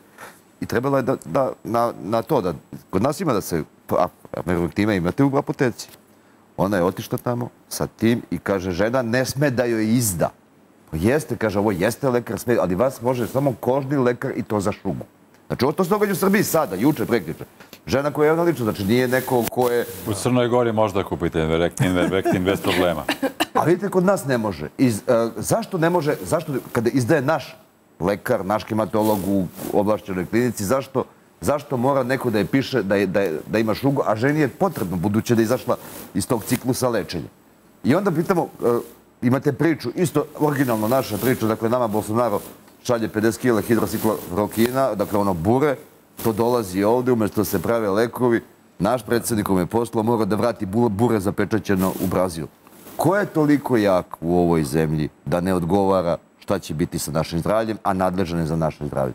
To je jedna emisija o kojoj ćemo pričati, nadam se, pošto u maju događa se velika stvar u jedinim nacijama, ovo je pokušaj Svjetske zdravstvene organizacije da bude apsolutni gospodar Gospodin naših života. možete li ukratko, pošto imamo gledalca na vezi, da, da, da nam ispričate, objasnite kako svet funkcioniše, ali kratko, pa moramo da Otkud čujemo ja znam kako svet funkcioniše. Pa pomenuli ste, pomenuli ste malo pre, Ne, kako svet ste funkcioniše. Ne, ne, ne, na, na, na večku Da, inteligenciju. je, ja sam htjela da pitam za veštačku inteligenciju. Koliko će nam ona pomoći, a koliko će nam možda odmoći? Pa gledajte, isto je, evo, opet da se vratim na farmakon. Šta je farmakon? Znači, otrovi lek. Farmakon, i sve na svetu je farmakon. I otrovi lek. Zavisi kako ga uzmeš. Konkretno, kako funkcioniše naše razmišljanje. Pa naše razmišljanje funkcioniše tako što mi do znači u procesu našeg saznava- sa- saznavanja idemo putem dedukcije i dolazimo na jedan nivo, na jedno stepenište gde dolazi onda intuicija. I na osnovu te intui- na, na osnovu intuicije i intuitivnog razumevanja istine mi znamo da to je. Znači ono što korespondira između mene i vas. I to je dedukcija, na osnovu toga razmišljamo. Međutim, večka inteligencija ima opozitivan, opozitni sistem indukcije. Šta je istina? Pa istina je, znači, ono što se najčešće ponavlja, ono što se najčešće javlja kao odgovor da zadato pitanje. Znači, ako vi kažete Srbi, izbacit će vam genocid, izbacit će vam, ne znam, hajduci, razbojnici i tako dalje. Šta, šta u večkoj inteligenciji rade procesori? Pa oni samo procesuiraju i to ubrzavaju maksimalno. Tako da imate to indukti- induktivni sistem razmišljanja. Znači, kada kaže neko demokratija i ljudska prava, izbacit će Ameriku. Izbacit će Ameriku, njihovu, ne znam, ovaj, povelju od nezavisnosti, tako dalje. Znači, to je indukcija. Ovo, jedno pitanje, ne, pošto završavam, dakle, pitanje između, pitanje večerke inteligencije, da li, da li će za- zavladati svetom? Može da zavlada I da li će svetom u moći da slučaju... misli kao čovjek? Ona može da kreira lažni svet, to je tačno. A inače, mi ne znamo šta je svest, a pogotovo ne zna veštačka inteligencija šta je svest, a pogotovo se ne može doći do, do saznanja o svesti na osnovu najčešće ponavljanog izgo, ovoga e, rešenja za određeni problem. Ja, sam, ja toliko. Bravo, gospodin Vujčić. A mi sad Svaka imamo e, na vezi Oh, jednog... e, Da li, da li se čujemo? E, možete da mi uključite u televiziju da kažu kako su naše tvorice vidjeli NLO? Vrlo vas slabo čujemo u studiju. Mo, mo- molim vas, Da li možete da me uključite sad u emisiju? Da, u programu ste. u programu. Da li se čujemo? Pa ja vas čujem. I mi sada vas čujemo. Da li imate neko pitanje za naše današnje goste? A sad tamo drugi priča. Morate da sm- smanjite televizor ili da ga isključite. Bilo bi najbolje. Da bi nas bolje čuli. Pa ja vas čujem, ali vamo sad drugi govori na televizor. I mi vas čujemo, ali samo kad govorite, kad čutite, onda vas ne čujemo. Da, e, kako smo e, vidjeli naš četvorica NLO? A, Aerodrom Petrovac Skoplje, e, 1969. godina.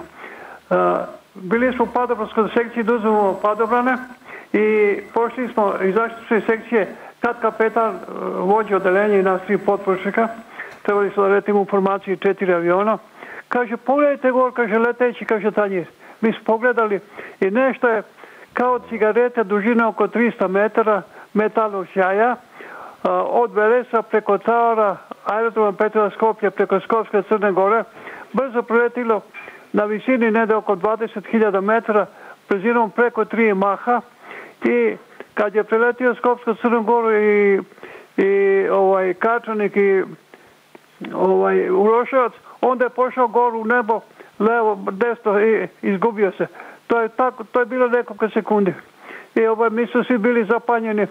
Ovaj, tad nije niko mogao da ga stigne, zato što ovaj, išao je brzino većim od tri maha, dužina oko, oko 300 metara. A sad vidite, nema krila, nema izduvne gasove, a nema neki zvuk da, da pravi veliku buku grmjavina.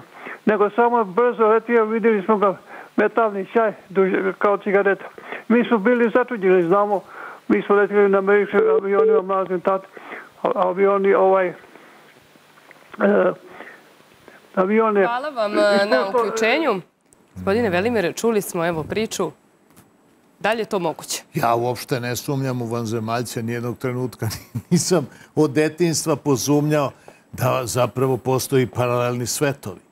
I to tačno, znate, znate gde je ulaz u paralelni svet? To je crna rupa. A gde je izlaz? Zvezda. S ove strane crna rupa, s one strane ovde uvire energija, tamo energija izvire, zračenje zvezde, tako da u stvari cirkuliše energija kroz paralelne svetove sve u krug. Jer sva su kretanja cirkularna u beskonačnosti. Ne, može da bude drugčije. Da, ako već tako krenemo, imali smo i neka telepatska iskustva, da li nam predstoji putovanje u prošlost ili u budućnost, da li je to moguće? I kada će to biti ostvarljivo za nas, obične smrtnike? Pa vidite, postoji već nacrt za e, vremensku mašinu. To je uradio Tesla 1936. na sedmu u fabrikama Škoda kad je radio u Češkoj. O tome se slabo znalo. on je dobio, to možete vidjeti na internetu, velikog, velikog belog lava. To je najviši češki orden. I ovo što vam govorim, to je izjavila predstavnica Češke vlade na otvaranju spomenika Tesle pre jedno pet godina. Otprilike, to je jedna ogromna, kaže, najteži spomenik Tesle koji postoji. To je jedna ogromna munja od bronze koja teži ne znam koliko tona. Ona je rekla, Tesla nije samo tu bio 1800 880 i ne, 1856. 77. 1877. I on bio u Pragu i cele godine je slušao na, filo, na filozofskom fakultetu ovaj, predavanja. Ali, kaže, nije, nije bio samo tada, nego je bio i 36. na 37. godinu i to su, to je okultna tehnologija trećeg rajha u fabrikama Škoda, to je takozvano dikloke, a to je ovaj vremenska mašina zvono na nemačkom, to je on napravio. A sad ću ja reći, ceo mehanizam toga, to može svako da uradi tu osnovnu, to je on još u Colorado Springsu shvatio. Imate njegov transformator, imate dodatno polje u transformatora imate referentno polje. Koji god predmet unesete u polje transformatora, menja se odnos oscilacija. Znači, lambda sa te u odnosu na referentno polje. Prema tome, menja se vremenska koordinacija objekata. Eto, to je mehanizam vremenske mašine kad to tako deluje jednostavno lako... Pa jeste jednostavno. Mi svi ne putujemo gledajte, to je recimo bilo sakriveno... Ovaj, jeste jednostavno, mi smo svi vremenske mašine, svi ovde koji sede, ljudi, i sa, i sa ugrađenim vremenskim programom u genom, tačno određen vremenski program, kad rastu uši, kad čovjek raste do 25. godine, kako stari, kako se krzaju telomeri u, u ovaj u, u, u hromozovima, sve tačno, precizno, vremenski određeno, zato što je u stvari ceo kosmos temporalni događaj, pa i samo vreme. Sve je to vremenski, da pretome vreme je osnovni zakon celokupnog univerzuma, pa i nas, kao bioloških sistema. Ali to nije još ušlo u nauku. To je ta duhovnost fizike koja preko teslijanstva unapređuje nauku i menja naučnu paradigmu od energije u vreme. Kad mi osvojimo shvat, vreme i kad budemo mogli da manipulišemo vremenom, sve ovo drugo su trivialni problemi. A svi pokušavaju da kontrolišu vreme. Ne, nemaju tu duhovnost. Pokušavaju da primitivnim sredstvima bez... Ko pokušava da kontroliše vreme? Ako sam ja dobro shvatio, gospodin Abramoviću, ako budemo stavili apsolutno vreme pod svoju kontrolu ljudi. Ne možemo da ga stavimo. Ne možemo da stavimo. Ne, ne možemo da ga stavimo. Možemo biti samo svesnik kao sluge vremena, da smo sluge vremena. Pričamo, znači, o telepatiji A znaš šta, i ima tako tu dalje. način. Da li ćemo moći, znači, da na neki, na, taj, na neki od tih načina pošaljemo čoveka, ljudsku postadu na Mars i da tamo stignu u razumnom vremenu Ma nema i da šta budu da putuju. Fotonski dezintegrator, reintegrator na bilo koje distanciji, samo na, čovek nastane gde treba. Nema tu problema nikakvi. Kad osvojite jedno svetlost, vreme, svest, kad to postanu kategorije naučnog znanja i kad znamo te osnove kosmoloških zakona. A to je teslijanstvo. Pa to se zna u nekim krugovima već. Gospodine Borović, rekli ste kontroliše nam vreme. Ko nam kontroliše to vreme? Pa ne, to je pokušaj kontrolisanja vremena. Znači, mi ne možemo svi da budemo slepi i da ne vidimo da jedan dan imamo sunce i čisto nebo, plavo, sa oblacima, sljedeći dan imaš avione koji te nadleću i koji ti prave tragove, koji te ubeđuju da si ti lud, jer vidiš tragove koji stoje po pet ili šest sati, a onda ispod njega prođe još jedan avion koji nema taj isti trag. Tako da kondenzacija i priča o kondenzaciji može da obese mačko rep. Treće je, zna se i dobili smo informacije, fizičar iz Zagreba je došao do toga šta je se nalazi i koje je sadržaj chemtrace. Tako hajde da više to ne pričamo da to nije. Ste videli juče i preključe kakav je, kako je bilo nebo? Znači, mi smo svi pod nekim difuznom svetlom. Znači, nakon toga ide difuzno svetlo. Tada nema kondenzacije. Evo, danas je, hvala Bogu, bilo vedro, što znači da sutra očekujemo ponovo isto. Kontrola vremena ide kroz kontrolu zapravo klime, a oni to zovu klimatske promene, to je taj pleonazam koji prave, a zapravo se zove više... Ko nas to zaliva chemtrailsima? A to mora pitati Vuka Draškovića koji je to dozvolio Pa i, nije i potpisao, i potpisao To je javni da eksperiment. Dakle, to je javni eksperiment iz 2007. Ja- godine, Da bi se sprečilo- Harvard i Ujedinjene nacije i to je naj, najstrašnije ovo što bi to trebalo bude javni dokument, da ga nađemo na, na sajtu Harvarda i Ujedinjenih nacija, kao javni dokument. Jer je, jer je to je takozvano privatno javno partnerstvo, koje datira aj sad iz 98. i to je to. Dakle, nažalost, mi sad od tog javnog papira, koji je 2007. bio javan, da će biti javno zašto oni treba nam zasipaju, jer Bože moj, ne znam, probušit će na suncu. Ili zasipaju samo Srbiju ili zasipaju ne, još ne, pa, neke... gledajte, oni zasipaju određene zemlje, da se razumemo. Mi nemamo kontrolu nad svojim nebom. Zašto? Ima e- eurokontrol. Dakle, mi više nemamo kontrolu, mi, mi smo sluge eurokontrola. I ne- oni nama ne najavljuju, izvini, dobro, Da. oni nama ne najavljuju prelet. Oni nama samo kaže proći će.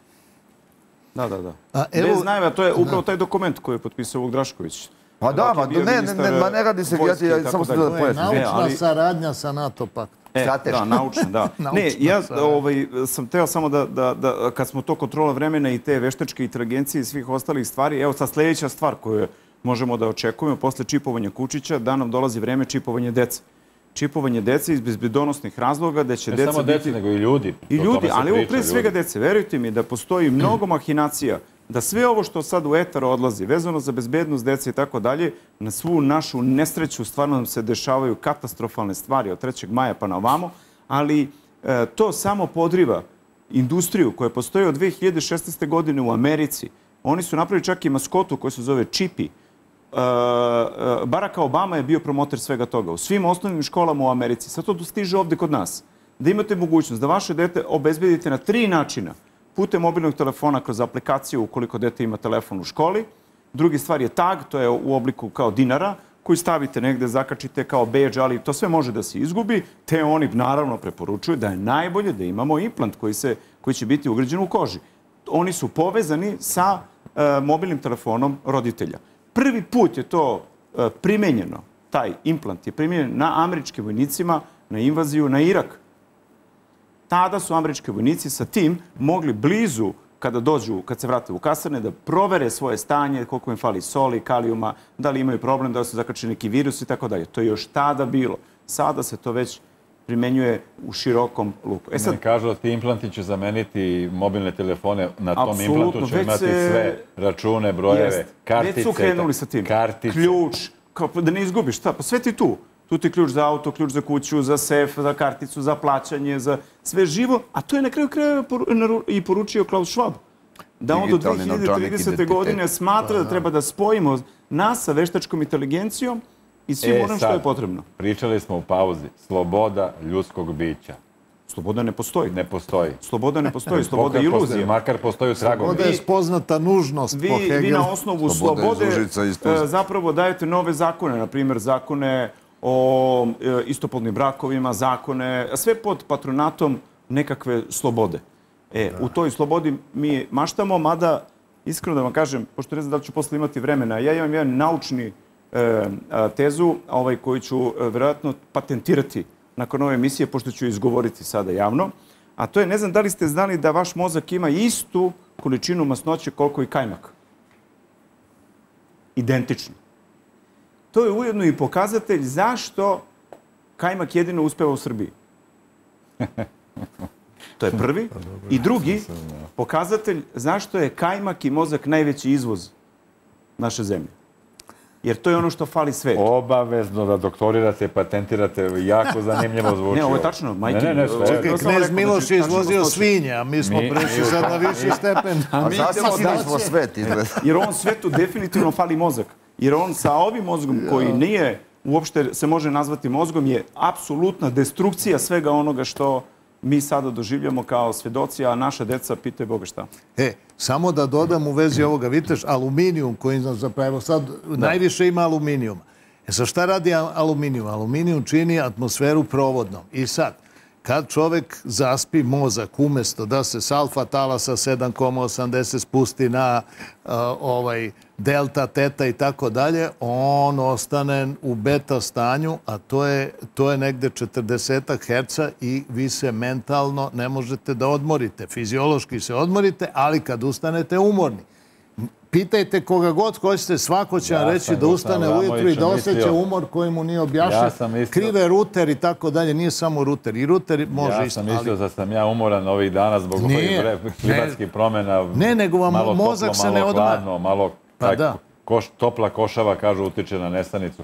A ono je u stvari Pazi, aluminij. aluminijum je imunosupresor. Prvo smanjuje imunitet i drugo drži provodnom atmosferu tako da se ne može mozak da odmori u toku sna. Fantastično.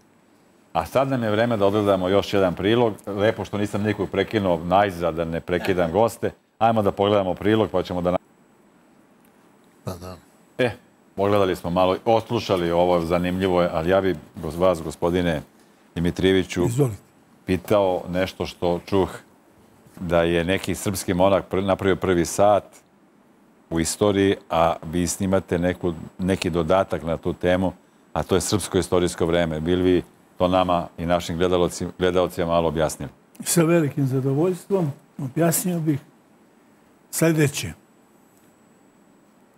Materica naroda, kolevka civilizacije, je ovde u poddunavskoj Srbiji, tu gde mi i tamo odakle dolazim ja i oko tih 500 km u Prečni.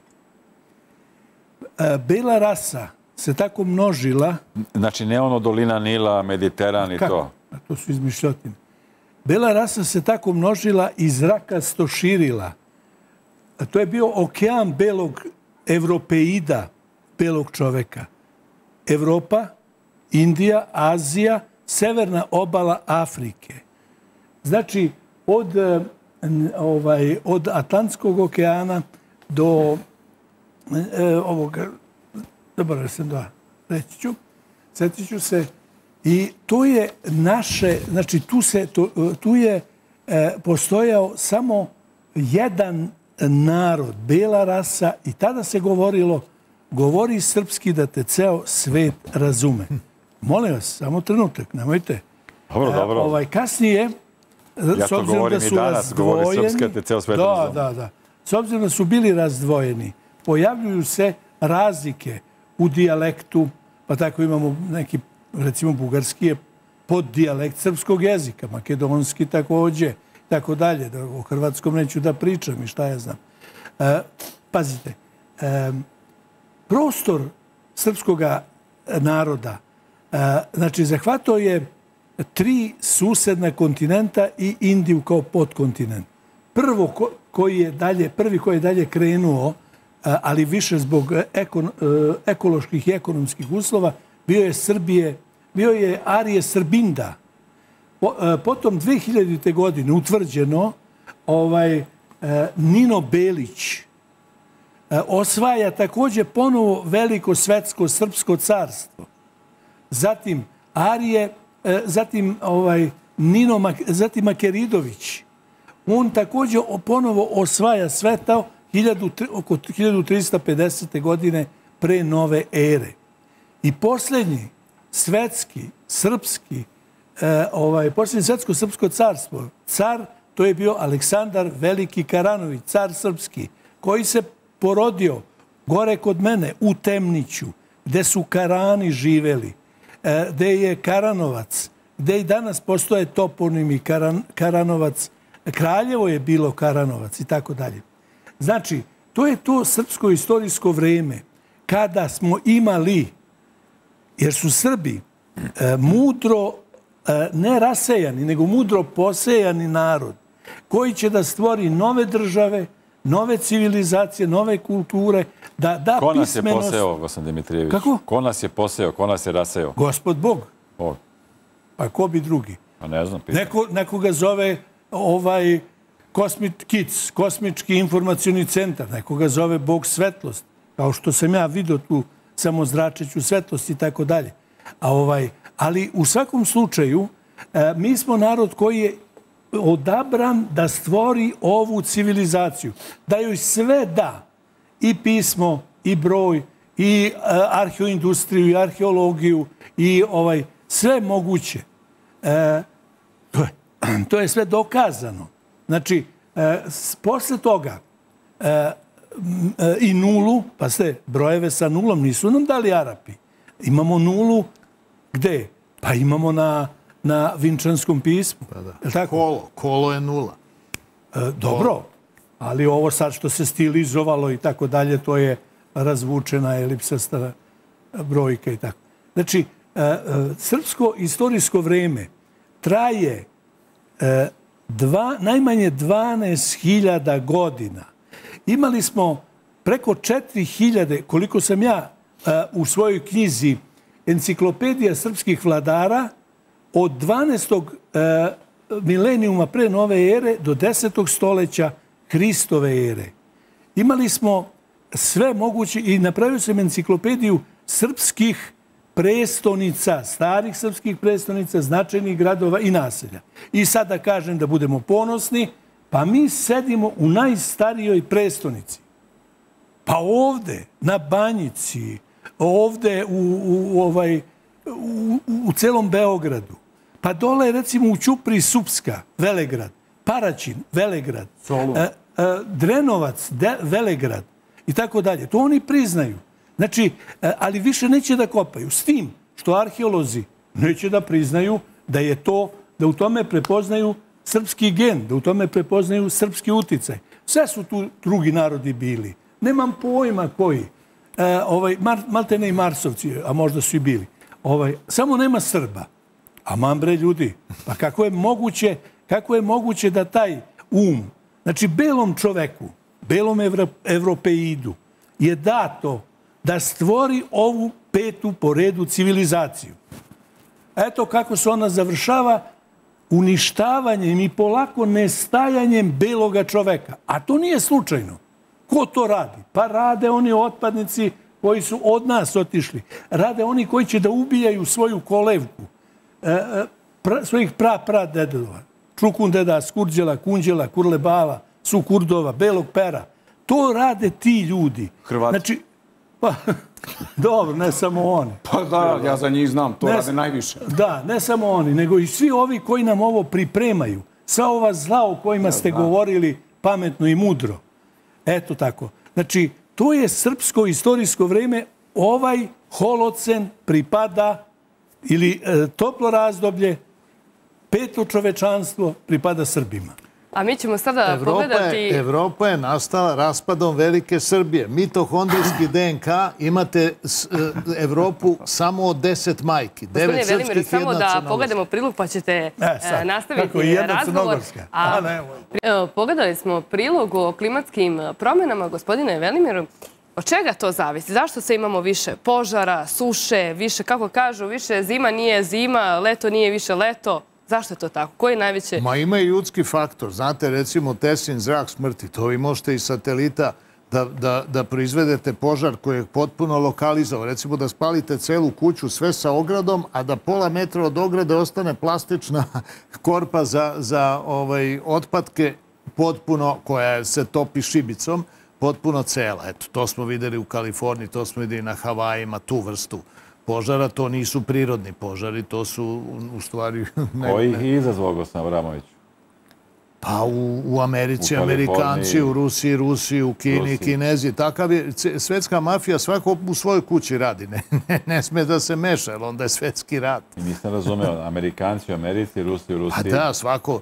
Rusi imaju geofizička oružja, oni rade sa zemljotresima. Amerikanci više sa klimatskim oružjima. Recimo, To šta imaju neki Kanadžani za grad? Kako, kako će jedno dana napadnu te svoje arhi neprijatelje ili nije. Ako na jedinstvena je komanda na planeti, to ste videli A, sad. jedinstvena, Jedinstvena e, komanda, ovo je pa- samo scenario za pozornicu. Tu se Gdje je glumci ta tuku. komanda i ko je komandant? Komandat u Uzbekistanu imate sastanak svetske vlade jednom godišnje, ali uglavnom to su planeri van sistema difuz, difuznog karaktera. Vanzemaljci koji ili ne? Vanzemaljci samo koriguju nuklearni rad, drugo ništa. Gospodine Boroviću, da li se slažete sa svim ovo što je rekao gospodin? Slušajte, Teško je ne složiti se. ovaj, e, ima tu, htio sam da se nadoveže, pa hvala što ste mi dali samo priliku da se nadovežem. Einstein je imao jedno predavanje u jednoj osnovnoj školi i jedan dečak ga je slušao, slušao, slušao, tako sam ja sad teo Velju da pitam. A ovaj kao taj dečak ovaj, i postavi Einsteinu jedno pitanje i kaže, e, molim vas da mi odgovorite na jedno pitanje, e, šta mačka ima što niko na svetu, ni jedna životinja, ni jedno živo biće nema? Einstein je razmišljao, razmišljao, provlačio kroz glavu različite naučne teze, dokaze i nije mogao da se seti. Dečak je odgovorio, pa mačiće. Eh, odgovori su uvek jednostavni. Eh, mi ih samo komplikujemo u, našim glavama, eh, stvarajući i upadajući u, zamku da su svi teoretičari zavere, a ovde sede teoretičari namere. I kad procenite nečiju nameru, vi onda shvatite i gde je zavera. Ona je uvijek u novcu. I kad pratite tokove novca, onda vam bude sve jasno u kom pravcu ide. I ja bi našim građanima uvek davao dobre, korisne savete. Samo pratite tokove novca. Kad nešto čujete e, vidite, ukucite to na Google, pronađite da li stoji BlackRock iza toga ili stoji neka druga kompanija ili Coca-Cola, nije ni bitno ko je. Znači, pronaći ćete i vidjet ćete tu, će vam biti sve jasno. I završit ću sa ovim, kad je Milutin Milanković pitao, kako će, kad su ga pitali kako ćete znati za klimatske promjene, kaže, kad dođe proleće, a mačke ne odu na parenje, tad je došla klimatska promjena. Ja vidim da mačke idu na parenje, tako da klimatskih promjena nema. Gospodin Dimitrijević, vi ste htjeli nešto da dodate za kraj? Da, samo sam teo ovo da dodam. Kad sam govorio o ovim enciklopedijama, napravio sam još jednu što je vrlo važno i prvu. Znači, enciklopediju srpskih naroda, plemena, rodova i bratstava.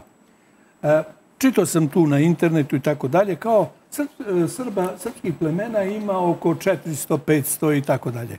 E, toliko ima kao šta ja znam.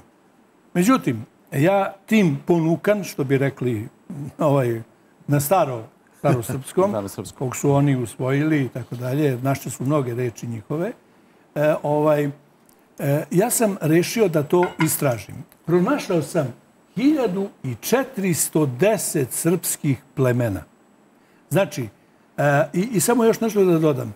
Kada su Jerakla ili Herakla osudili na 12 onih, e, da ispuni 12 Iskušenja. uslova, 12 teških zadataka, da e, uzme e, stado sa, e, sa Dunavskog ostrva, to nije bilo stado goveda.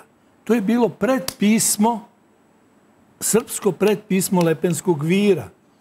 Pa je to prenešeno u Francusku, pa se on sišao, njegov sin i tako dalje. Da, da ne širim priču. Dakle, imamo, kako znamo da, ovaj, kakve veze biološki imamo sa, sa tim narodom?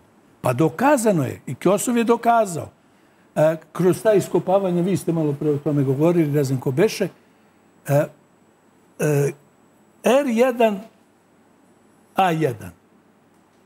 To je, to je srpski gen. R1A1.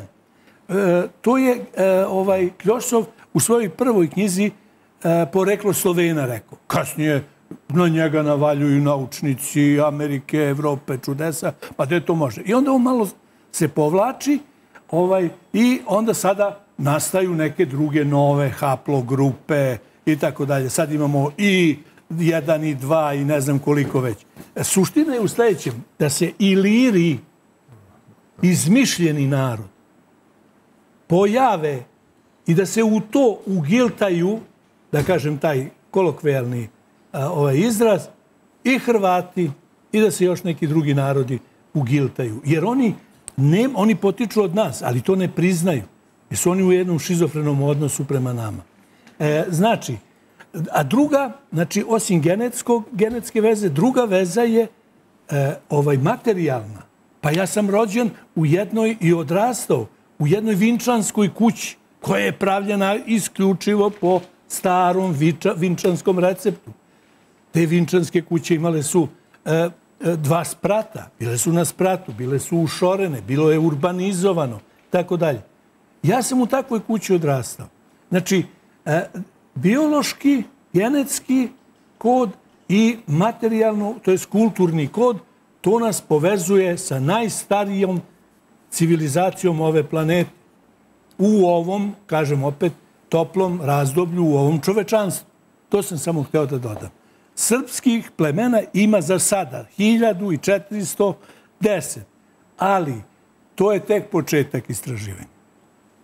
E, znači, on, ono što se kaže, što, se, to se, što istorija piše, što mi, ne znam, negdje čitamo, učimo, da je čovek migrirao s Mediterana iz doline Nila i došao u Evropu pre 60.000 godina, nije tačno, pošto smo mi već bili tu. Nije tačno, apsolutno. Sve je krenulo odavde. Oni na sada, naša majka je bila crna majka, došla iz Afrike. Ma nemoj. Pa kako to? Kako objasniti? Ne, naša majka je bila majmunica. Po, da. po vladaću teoriji. Po, po, po Darwinu je kao... Majde. Bila majmunica, nemojte tako. Dobro, to je samo kritika Darwina. Gospodine Abramoviću, hteo sam nešto da vas pitam, nema vremena, jer samo kratko, da li je Tesla van zemaljac bio? Ne, ali je zamenjen, o, ne, on je rođen, rođen zemaljski, pa da, po duhu da. Dobro. Vreme nam da se pozdravimo s vama, dragi gledalci, vi ćete naravno ostati uz televiziju Happy.